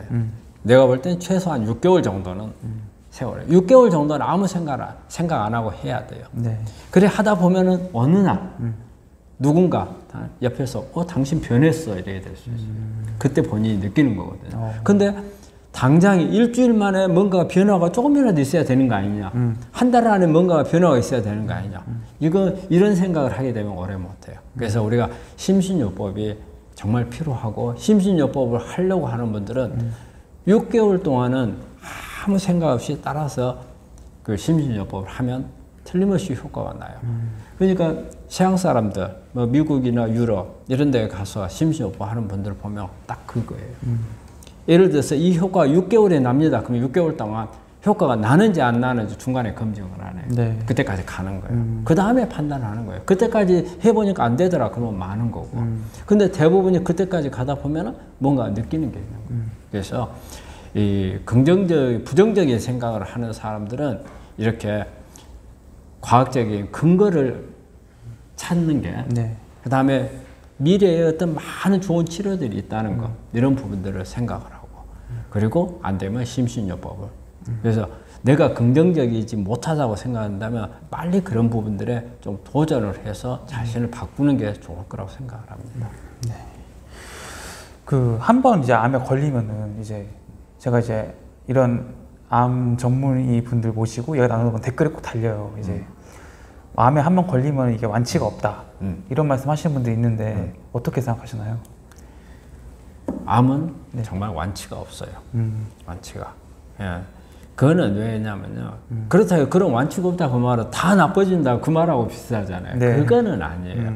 그러니까 우리가 암은 이 일단은 완치란 용어를 함부로 쓰질 않아요. 언제 다시 튀어나올지 모르기 때문에 네. 그렇지만은 그래서 우리가 이제 5년 생존율을 쓰고 그 다음에 5년 생존율, 10년 생존율 이런 말을 하잖아요. 그리고 5년 생존율이 5년간 이상이 없으면 몇 프로 정도 완치에 될 가능성이 있다. 그다음 10년이 되면은 어떻다 이렇게 이제 표현을 하는 거잖아요. 네. 그래서 암이라고 하는 것은 정말 이 말이 그래요. 평생 관리라는 거예요. 음. 이 평생 근데 그러면 그죠 아저씨 이거 암만 평생 관리하다가 그러면 나는 어떡하라고 이래 되잖아요. 그런데 예, 그건 아니에요. 우리가 암에 대한 관리는 저는 그래요. 암에 대한 관리는 암만을 위한 관리가 아니에요. 여러 가지 나한테 올 수 있는 만성 질환들. 암은 사실은 요즘에 예전에는 불치병이랬잖아요. 네. 근데 요즘에는 만성 질환이고 이게 대사성 질환 쪽이라고 봐요. 그러니까 세포에서 생기는 병이기 때문에 세포에 어떤 문제가 생길 수 있는 것을 우리가 이제 대사성 질환이라고 표현을 하거든요. 그래서 그런 병들을 같이 예방이 되는 거예요. 고혈압, 뭐 고지혈증, 이 여러 가지 자가 면역 질환 이런 부분들도 걸리지 않게끔 막아주는 거거든요. 그러면 내가 평생 동안 내가 건강하게 살 수 있는 그런 방법이 되는 거란 말이에요. 그래서 완치란 개념을 저는 우리 환자한테 쓰지 말고요. 한 번 내가 암에 걸렸으면 다시는 내가 2차 암, 3차 암에 안 걸려야 되고 그 다음에 재발 전이가 안 되게 그래서 나 내가 평생 동안 편안하고 건강하게 산다. 그렇기 때문에 평생 동안 관리하는 한다 이 생각을 하셔야 돼요. 그래서 암은 완치가 없고요. 평생 관리하는 병이에요. 아, 그러면 이게 암에 한번 걸렸던 분들이 그 관리를 할 때 특별히 더 신경 써야 될 것도 있어요. 네? 특별히 더 신경 써야 될 것들. 그렇죠. 신경 써야 될 부분은 네. 그러니까 그거에 아까 제가 이 네 가지를 이야기를 했는데 치료에서 현대의학적인 방법 이 부분은 암이 급성기 때 음. 하는 방법이고 그 다음에 면역, 그 다음에 유전자, 그 다음에 환경 개선 이 요 부분들을 항상 같이 가야 돼요. 네. 그게 따로가 아니에요. 음. 우리가 환경이 좋아지면 면역이 좋아지고 네. 면역이 좋아지면 또 암세포라든지 이런 병을 걸리지 않게끔 음. 막아주고 또 환경이 좋아지면 변이 되는 유전자가 생기지 않게끔 막아주고 네. 변이 된 유전자가 안 생기면 암도 억제하는 거고 음. 그렇기 때문에 이 부분들이 그러니까 한마디로 뭐냐면 생활 습관을 고치는 음. 거죠. 생활 습관이라고 하는 것은 음식부터 음. 식 습관 그 다음에 어떤 내가 직업에 대한 음. 스트레스 받고 그다음에 어또 이제 뭐 우리 생활하면서 버릇 같은 거 있잖아요. 네. 버릇 이런 것도 참 중요해요. 버릇을 고쳐야 되고 그다음에 내 주변 환경 주변 환경이 만약에 안 좋다. 저는 일- 전에 이런 경우 있었어요. 환자분한테 네. 자기가 내 이제 전에는 자기 사는 집까지도 내 체크한 적이 있거든요. 오, 어디서 네. 사느냐. 네. 이제 그런 근데 공장 옆에서 산대요. 음. 그 공장 옆에서 그게 안 좋은데 당시 모발 검사니까 이런 게 나오는데 음. 그 영향도 줄 수 있었을 거야. 근데 한동안 환자가 안 보여요. 네. 나중에 한 3개월 후에 와가지고 한야 이사했다더라고. 오. 그 자기 환경이 안 좋으니까 음. 자기 살기 위해서 이사했다. 어, 그런 부분도 사실은 필요한 부분이란 말이에요. 네. 그래서 그런 부분들을 같이 뭐 절대 암은 하나로 가지고 될 수 있다는 게 없어요. 네. 같이 그리고 항상 일상화가 돼야 돼요. 음. 일상화가 그런 부분이 오히려 더 중요해요. 그 물만 잘 먹어도 암이 나을 수 있다고 하셨던데 네. 이거는 무슨 얘기인가요? 네, 우리 물이 가장 쉽게 구하고 음. 그 다음에 돈 안 들이고 많이 먹을 수 있는 게 물이잖아요. 그렇죠. 그 물이 우리 그냥 단순한 물이 아니에요. 암 환자한테는 그리고 특히 이제 암뿐이 아니고 여러 가지 대사 질환에는 물이 상당히 중요해요. 우리가 이제 세포 레벨에서 우리 세포 안에서 암이라고 하는 것은 하나의 세포 안에서 암이 만들어지는 거거든. 그래서 이게 이제 하나가 둘 되고 두 개, 네개 되고 하면서 커지면서 덩어리가 커지면 이게 우리가 생각하는 그런 암이란 말이에요. 그러면 세포 안에 환경이 좋으면 어때요? 암이 안 생길 수 있겠죠. 그 다음에 세포 안에 환경이 좋으면 정상 세포가 암 세포로 바뀌질 않는단 말이에요. 거기에서 물이 역할이 아주 커요. 물은 일단은 어때요? 이 세포 안에 물이 충분하면 우리 집안에 물이 없으면 화장실 예? 대소변 바른 거 냄새 그거 안 누르면 물이 없으면 안 빠지면 냄새 어마어마하게 날 거 아니에요. 예. 그 다음에 주방에서 음식하고 나서 이 싱크대에 물 안 나오면 설거지도 못 하잖아요. 그 바닥에 우리 방 바닥 청소도 안 되잖아요. 물이 없으면 아무것도 못 하죠. 우리 세포도 마찬가지예요. 세포 안에 물이 없으면 우리 몸 안에서는 에너지를 만드는 가운데 여러 가지 산화물, 찌꺼기들이 많이 나와요. 그럼 이 찌꺼기를 제거를 해주고 그 다음에 이 세포가 유지되도록 해주는 게 물이에요. 물이 물이 차 있어가지고 입체적인 모양을 만들어 주는 거거든요. 네. 그런 기능을 못하게 되면 어때요? 정상 세포가 암세포로 가고 암세포가 계속 유전자 변이가 일어나서 계속 암세포 성장이 빨라지고 그 다음에 더 악성으로 가는 암들이 만들어지는 거거든요. 네. 그래서 어떻게 해서든지 물을 잘 공급하는 게 중요해요. 그래서 제가 물만 잘 먹어도 암을 낳는다 하는 것은 바로 그런 이유예요. 그런데 그럼 이제 물을 이제 어떻게 잘 넣어줘야 되느냐. 네. 그 우리 우리 환자분들이 아주 쉽게 생각해. 어 그래 물이 부족하면 물만 마셔주면 되는 거 아니냐. 네. 그렇거든요. 근데 그렇지 않아요. 사실 우리 몸에 우리가 물을 마시면 우리 물이 가장 잘 가는 곳은 혈관. 음. 어. 그 다음에 간질 세포 있는 쪽으로 가요. 네. 그런데 실제 물이 중요한 거는 세포 안이란 말이에요. 우리가 탈수를 이제 이럴 때 이야기를 해요. 근데 두 가지. 우리가 일반적으로 탈수 그러면 목마르잖아요. 네. 목말라. 그럼 물만 마시면 해결이 돼. 근데 내가 말하는 탈수는 그 탈수가 아니에요. 세포 안에 탈수예요. 세포 내에. 세포 내에는 물이 함부로 들어가지를 못해요. 네. 우리 세포 내가 아무렇게 물이 들락날락하면 어, 사람은 존재할 수가 없어요. 세포가 살지를 못해요. 세포가 죽어요. 그러면 세포는 물을 차단하고 있어요. 못 들어가게. 그런데 이 물이 세포 안에 그러면 들어가려면 혼자는 단독으로 못 들어가요. 이 물을 끌고 들어가는 물질이 있어야 돼. 그 물질이 가장 큰 역할을 하는 게 칼륨이에요. 그래서 우리가 뭐 방송에 이런 데 보면 칼륨이 많은 음식, 건강 음식으로 나올 때 네. 예, 그런 게 칼륨이 많은 음식이 많이 나오는데 이 이유 때문에 그러는 거예요. 칼륨이.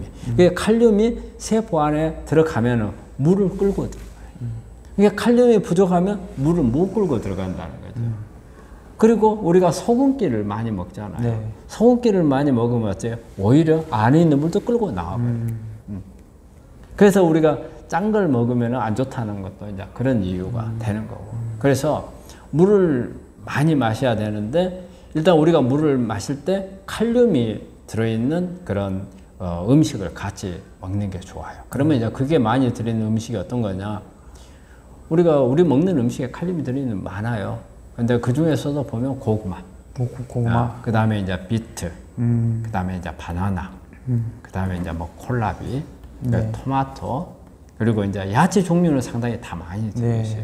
그런 부분들을 먹으면서 네. 물을 하루에 1.5에서 한 2리터 정도. 음. 그 우리가 보통 일반적으로 컵이 조그마한 컵은 200cc, 네. 큰 컵은 한 250cc 되거든요. 그러면 250cc 어, 컵으로 따지면은 하루에 6잔에서 한 8잔. 음. 근데 우리가 환자분들이 생각할 때 물 마실 때 생각해야 될 부분이 뭐냐면 우리가 물을 아침에 밥 먹으면 국 같이 먹잖아요. 네. 국에 물이 있잖아요. 네. 또밥 먹고 나면 가증 나니까 물 마시잖아요. 약 먹을 때 물 마시잖아요. 네. 이 물은 해당이 안 된다는 거예요. 그냥 우리가 그냥 물만 마셨던 거고. 근데 우리가 국 속에 있는 물이라든지 그 다음에 어, 음식 먹고 나서 물 마시는 것은 그 물을 그 먹었던 음식을 처리하기 위한 물이에요.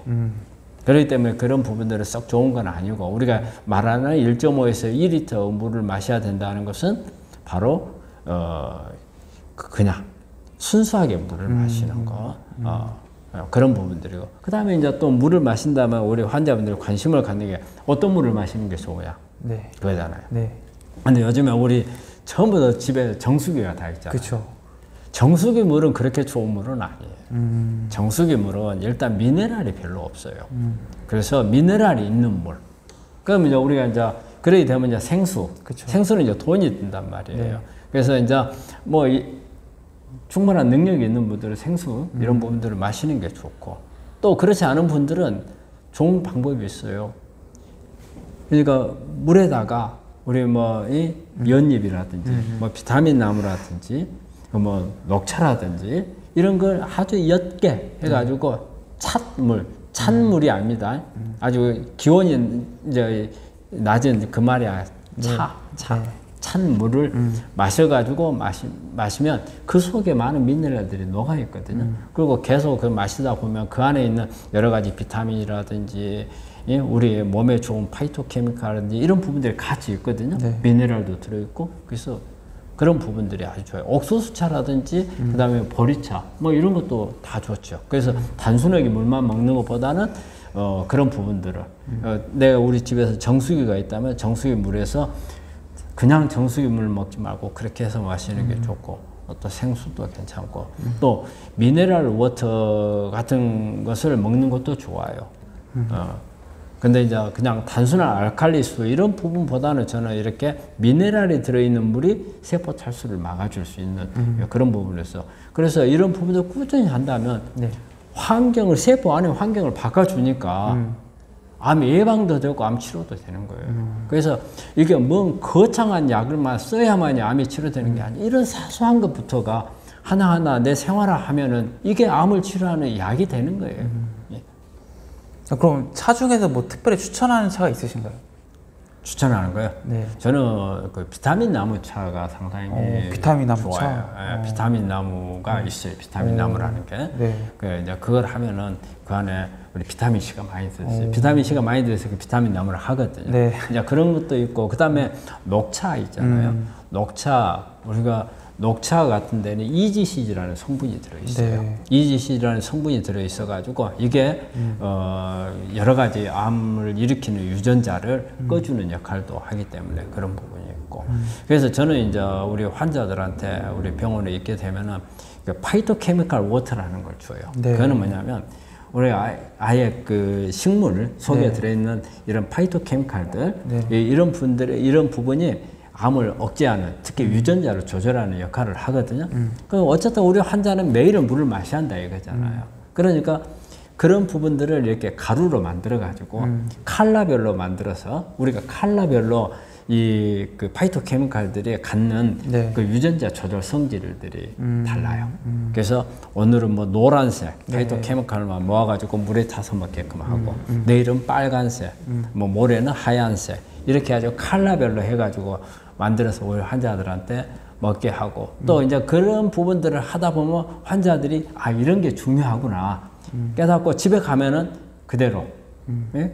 그냥 단순한 물만 먹는 게 아니고 예, 자기가 주변에서 구할 수 있는 찬물 같은 거 만들어서 네. 할수 있는 이제 그런 이제 이 교육도 되는 거고 그래서 우리 병원에서 이제 그런 부분들을 해주고 있죠. 그래서 물이 정말 물은 중요합니다. 근데 우리 생각보다 우리 환자들이 물 잘 마실 것 같죠.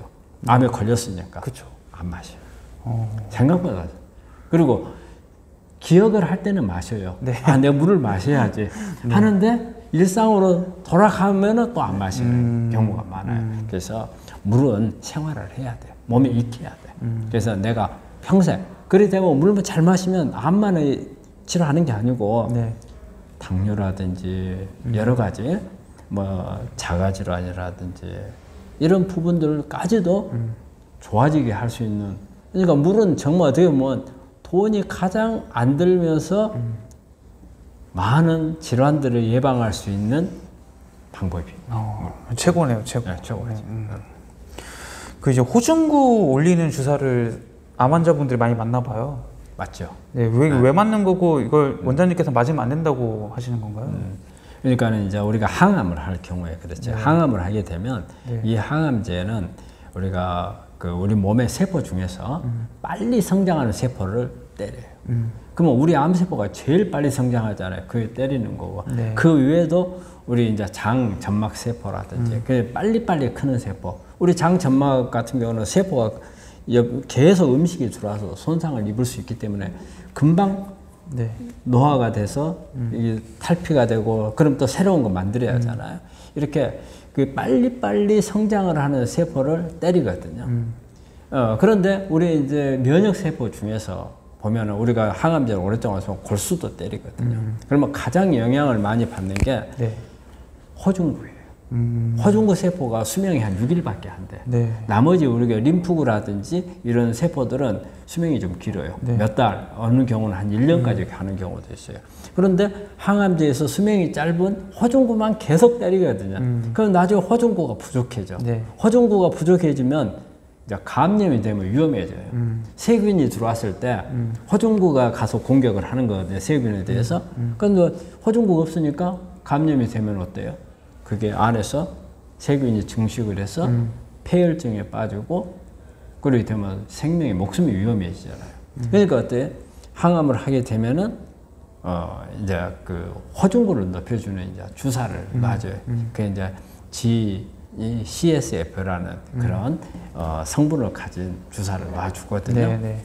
예. 근데 이제 이게 어, 그런 이제 치료하는데 도움을 줄 수도 있는 부분이 있는데 너무 이게 자주 맞게 되면 MDSC라 해가지고 이 골수율에 이 줄기세포라는 게 안에 그 섞여 있게 있을 수 있는 환경이 돼요. 그러면 이 MDSC라는 이 물질이 이 물질이 암을 악성으로 바꿔주는 역할을 해요. 그래서 어, 꼭 필요한 경우에 꼭 필요한 게 백혈구가 떨어져서 항암을 해야 되는데 백혈구가 떨어져 있는데 그걸 안 놓는다? 그러면 안 되죠. 그건 놔야 되고. 그래서 백혈구 올려서 항암을 잘 받아야 되니까. 그런데 그렇지 않는 경우에 백혈구가 떨어지지를 않고 환자가 견딜만 하다면 가능한 한 피할 수 있으면 피하는 게 좋다. 그럴 위험성이 MDSC 같은 게 나와가지고서 악성으로 유도할 수 있는 그런 부분이 있어서 그래서 네. 저는 우리 환자들한테 그래요.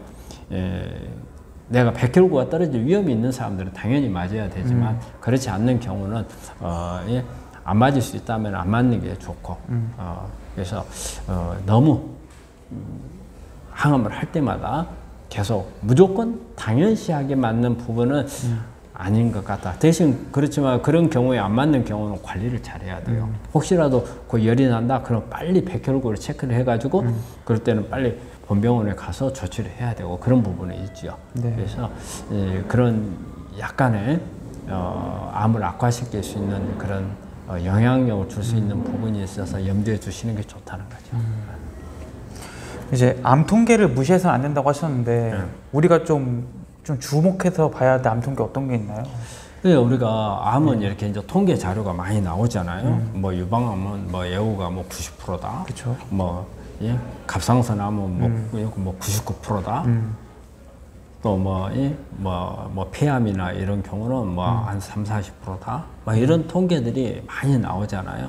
그래서 저는 그래. 이 통계에 대해서 너무 연연해 할 필요도 없고 또 너무 무시하면 안 돼요. 무시하면.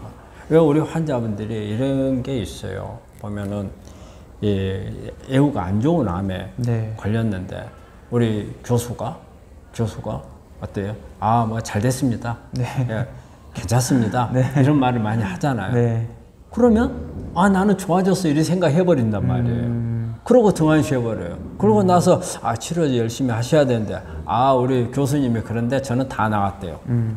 교수님은 절대 다 나왔단 말을 하는 게 아니란 말이에요. 관해를 말한 거예요. 지금 안 보인다.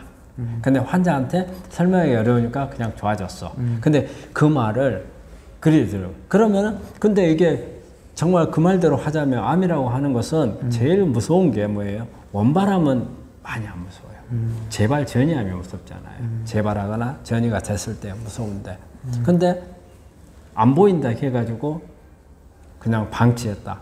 하지만은 예후가 안 좋은 암이었을 때는 그 통계 자료를 무시하면 안 되잖아요. 어쨌든 이 통계 자료상에 안 좋은 암은 안 좋을 가능성이 많다는 뜻이거든요. 네. 그렇기 때문에 내가 등한시하면 안 되는. 그런데 또 통계에 너무 이제 또 몰입을 해가지고 나는 이 암에 걸렸어? 그러면은 나는 이제 안 좋아질 거야? 이제 포기해버리고 네. 어, 이- 이것도 안 좋은 거예요. 그래서 이 사실은 통계라는 것은 무시를 해서도 안 되고, 그 다음에 또 너무 이 통계에 대해서 어, 어때 너무 거기 몰입을 해서도 네. 안 되는 거고. 예를 들어 가지고 내가 안 좋은 암에 돼 있어. 네. 그렇다면은 내가 가능성이 안 좋아질 가능성이 더 많은 잖아요. 50%를 기준으로 한다면 50% 넘으면은. 그럴 때는 내가 관리를 조금 더 어떻게 해야 될 것인가 그 통계 자료를 이용을 해서. 안 좋은 거이니까 내가 정말 더 분석을 잘해가지고 내가 더 과학적으로 체계적으로 치료를 해야 되겠다 생각을 하는 거잖아요. 예, 그런 생각을 해야 되고 또 너무 과신하면 나 통계적으로 좋든지 안 좋든지 내가 교수가 좋다고 했으니까 나는 상관이 없어. 하지만 그럴 때는 뭐예요? 어쨌든 내가 좋다고는 이야기는 들었지만 네. 이 암의 통계적으로 그래도 무시하면 안 되는 그 다음에 나빠질 수 있는 가능성이 좋아질 가능성보다는 나빠질 가능성이 더 높은 암이니까 좀더 관리를 해야 되겠다 이런 생각을 해야 한단 말이에요. 그래서 이 통계에 대해서도 상당히 신경을 좀 써야 됩니다. 그 아마 그 암 환자분들에게 조금 이제 굉장히 힘이 되는 좀 메시지일 것 같아요. 그 네. 원장님께서 이제 암의 열매는 달다라는 말을 자주 쓰시잖아요. 네. 이거 왜 그런가요? 아니 네. 암의 열매는 진짜 네. 달다고 생각을 해요. 왜? 두 세상을 사니까. 음. 보통 사람 한 세상밖에 못 살아요. 근데 우리 암 환자들이 항상 암을 극복하고 나서 하는 이야기가 두 세상 산다는 이야기를 하거든요. 네. 암에 걸리기 전에 생하고 암에 걸리고 나서 후에 생은 다르다는 거예요. 암에 걸리기 전에는 생이 그다음에 암을 극복한 게 본인들은 다시 태어난다는 개념으로 많이 생각을 해요. 암에. 그래서 암을 잘 극복한 사람들은 어떤 한 세상밖에 못 사는데 두 세상을 산다. 그거 얼마나 좋은 일이에요. 그다음에 암에 암을 걸리고 나서 암에 걸리기 전에 자기가 해왔던 패턴을 네. 뭔가가 잘못됐다는 것을 느꼈잖아요. 그 다음에는 확 바꾸는 거예요. 음? 내가 생활했던 아 그거 잘못했었어. 나는 이제부터는 이렇게 살 거야. 그리고 암을 극복하는 과정에서도 그걸 생각을 해야 돼. 네. 내가 이제 암만 넘어선다면 나는 어떻게 할 거야? 그 사람들이 치료가 잘 되는 거예요. 그렇듯이 그래서 암은 극복만 할 수 있다면 한 번은 알아볼 만한 병이다. 이제 이런 말을 쓰잖아요. 네. 그리고 암을 통해서 얻는 교훈이 워낙 많아요. 내가 남을 위해서 이타주의에서 저였던 사람들은 나 자신에 대해서 앞으로 먼 미래는 나를 위해서 살고 아니 내가 한 세상밖에 못 사는데 나도 멋지게 한번 살아봐야 되는 거 아니냐 이거죠. 그런 부분들을 내가 암에 안 걸렸으면 몰랐을 거라는 거라. 그대로 막그 패턴대로 가서 살고 내가 임종을 맞이하면서 내가 어떻게 살아왔나 생각하면은 어 내가 도대체 뭘 어떻게 이게 이렇게 살아왔지 후회할 수도 있는데 암이라는 것을 한번 앓고 나면서 네. 그냥 우리가 죽으면 다음 세상이 없잖아요. 그런데 암이라는 것은 죽음 앞에까지 갔다 왔어. 네. 그러면 이 다음에는 내가 이때 내가 죽음 직전까지 갔는데 여기서 앞으로 내가 산다면 어떻게 뭘, 뭐를 이렇게 해봐야 되겠다 했는데 정말 살아났어. 네. 그럼 할 수 있는 거잖아요. 음. 그 다음에 또 암을 하는 과정에서 자기의 인생관도 바뀌지만 자기 직업이 바뀌는 사람이 있어요. 오, 네. 암을 하는 가운데 치료하는 가운데 자기가 투병하면서 여러 가지 경험했던 내용들 있잖아요. 이걸 가지고 이 다음에 본인의 또 다른 직업이 되는 경우도 있어요. 그 그런 환자들 많이 봐요. 네. 자기가 투병하면서 음. 경험했던 것을 다른 사람한테 내가 이렇게 하니까 나았더라. 그래서 다른 사람한테 알리는 역할을 하는 사람들이 있거든요. 그 많은 사람들 상담을 하고 거기에서 또 예, 경제적으로 플러스도 좀 되고 그런 부분들. 그래서 암을 일단은 앓는다는 것은 참이 어, 그러게 좋은 건 아니죠, 당연히. 어, 힘들고, 예? 그런데 정말 앓고 난다면 네. 그래서 나은다면 정말 그는 암은 정말 우리에게 아주 귀중한 단 열매가 될 수 있는 거고 어, 그런 부분들을 머릿속에서 항상 그리면서 우리 환, 환자분들은 투병을 하시고 치료를 하셔야 돼요. 어. 그리고 그 정말 그 미래는 우리 환자분들한테 지금 생각하고 있는 것보다 어마어마한 가치를 주고 빚을 주는 거예요. 열심히 하세요. 실제로 이제 암에 걸려서 원장님 찾아와가지고 이제 원장님께서 이제 어 이제 암 다 나가 나 나았습니다. 뭐 완치 판정까지 아니더라, 아니더라도 5년 동안 그 예우를 받는 괜찮습니다 했을 때 삶이 달라지신 분들이 엄청나게 많나요? 그죠? 마- 많이 바뀌죠. 예, 일단은 우리 암을 성격도 그래요. 네. 암을 앓기 전에 있는 사람들 보면은 아주 그 소극적이고 소극적이고 그 다음에 어떤 이, 이- 그 한쪽에 치우쳐 있는 이런 생각을 하고 있는 분들이 암을 앓고 있는 동안에 투병하는 동안에 많이 바뀌어요. 그리고 극복을 한 사람들은 이제 뭐예요? 암이라는 병을 이겼다는 거예요. 암을 이겼는데 뭐가 두려운 게 있냐 이거지. 뭐가 두려운 게. 그러니까는 아, 그 사람의 미래는 훨씬 밝고 정말 긍정적으로 네. 가잖아요. 네, 그렇죠. 그 이제 소 잃고 외양간도 못 고친다라는 말도 즐겨 하시잖아요. 이건 어떤 의미인가요? 그러니까 우리가 이제 예를 들어서 이제 우리가 소 잃고 나면은 네. 이제 소가 도망간 구멍을 만들어 놓은 거잖아요. 그쵸. 그러니까 이제 이 외양간을 고치는 거잖아요. 그런데 암은 암은 잃고 나면은 외양간이 없어요. 네. 내가 내 몸이 사라져 버렸어. 음. 외양간이 없잖아요. 그러니까 제가 이제 농담 삼아서 하는 이야기예요. 네. 어, 소 잃고 외양간 고친다는 우리 환자들한테는 소양간 아니 소 잃고 외양간도 없다. 저는 이제 그 농담을 삼아서 하는 이야기거든요. 그렇기 때문에 암은 뭐예요? 잃어버리면 미래가 없어요. 그리고 그러기 때문에 이제 제가 그렇다 해서 암에 막 너무 집착하라 그 말이 아니에요. 네. 암은 내가 올인을 무조건 올인을 하는 게 아니고 내가 그 암의 치료에 방해가 될 수 있는 부분들은 일단은 제끼고 음. 얼마든지 암을 낳고 나서 할 수 있는 그 다음으로 미루고 네. 지금은 암에 대해서 전념을 할수 된다. 음. 근데 집착하고 달라요. 왜이 이야기를 하느냐면 우리 암이 있는 분들이 직장 생활을 놓지를 못하는 분들, 음. 예? 그리고 어떤 이타주의를 계속 유지해야 되는 부분들 음. 때문에 자기 치료를 등한시한 분들이 있거든요. 내가 이런 이야기를 많이 해요. 네. 가족들을 이렇게 돌보는 것도 있잖아요. 만약에 내 환자분한테 그래요. 자기가 직장 투병하면서도 직장 생활 해야 된다는 거예요. 내가 이 버려야 된다. 내가 그런 말. 가족을 몇십 년 동안 앞으로 응?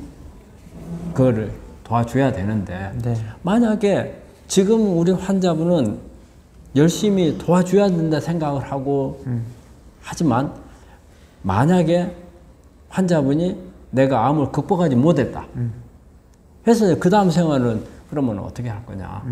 예? 그러면은 내가 예를 들어서 한 10년간을 내가 뭔가를 도와줘야 된다고 생각하면은 네. 10년 동안을 예를 들어서 암 때문에 한 1년으로 손해를 본다. 그러면 9년을 도와줄 수 있는 계획을 짜는 게 좋으냐. 네. 1년 하다가 말아버릴 계획을 짜면 좋으냐. 예? 9년간을 할 수 있는 계획을 짜야 될 거 아니냐. 그렇죠. 그러면 1년은, 1년은 이것을 제껴라. 음. 예? 음. 그런 부분들을 저는 이제 우리 환자들한테 이제 그런 말을 참 많이 하는 편이죠. 끝으로 이제 구독자분들에게 해주고 싶은 말씀 있으실까요? 예.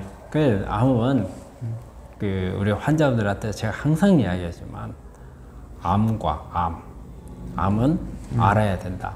말에 비슷해 암하고 암하거나. 그래서 항상 그 따라가는 말인 거 같고 제가 계속 환자들한테 그래요. 환자는 공부해야 된다. 공부. 우리가 학교 때 하는 공부는 예, 이 공부에 비하면 아무것도 아닌 거예요. 그쵸. 진짜 진짜 공부를 네. 예, 하셔야 되고 그 다음에 또 하나 우리 환자들한테 말해드리고 싶은 것은 암은 100미 달리기가 아니라는 거예요. 마라톤이라는 거예요. 그래서 독하게 마음 먹고 네. 예, 독하게 마음 먹고 꾸준하게 음. 그런데 100미 달리기 하시, 하듯이 하다 보면 막 죽어라고 열심히 하는데 금방 지쳐. 그러면 그 다음에는 소홀해져 버려요. 네. 암은 절대 그러면 안 된다는 거죠. 예, 그래서 끈질기고 그 다음에 이 쓸데없는 네. 근거도 없는 치료들 좀 안 했으면 좋겠어요. 어, 어느 정도이 치우쳐 있는 네. 사실은 보면은 크게 도움이 안 되는 것은 저는 우리 환자분들 오면은 본인이 먹고 있는 기능식품 같은 거다 가지고 오라고 그래요. 오. 그리고 가지고 와가지고 이것은 먹으면 되고 안 되고 구분을 해줘요. 어. 구분을. 네. 근데 우리 환자분들 잘 모르잖아요. 그쵸. 모르다 보니까 누가 이거 좋다 하면 이거 갖다 먹고 저거 갖다 먹고 나중에 보면 이만큼씩 먹어요. 그러다가 뭐 간 나빠지는 수도 있고 막 그렇잖아요. 그러니까 그런 부분들을 구분을 하는 걸 그게 중요해서 그래서 저는 이제 이렇게 기능식품을 가져라 해가지고 구분을 해주는데 정말 필요한 것들만 해야 돼. 요 쓸데없는 것을. 그래서 본인이 그런 부분들을 이 구분을 할 줄을 모른다면 가지고 오세요. 의사 선생님들한테 가지고 와가지고 좀이 선별해달라 이야기를 하세요. 그러면 다 해줍니다. 아, 열심히 치료하시기 바랍니다. 네, 알겠습니다. 네, 그래서 오늘은 이제 암 너는 누구냐의 저자 문찬 씨 원장님 모시고 이야기 나눠봤습니다. 오늘 좋은 말씀을 감사하고요. 영상 봐주신 구독자분들도 고맙습니다. 감사합니다. 감사합니다.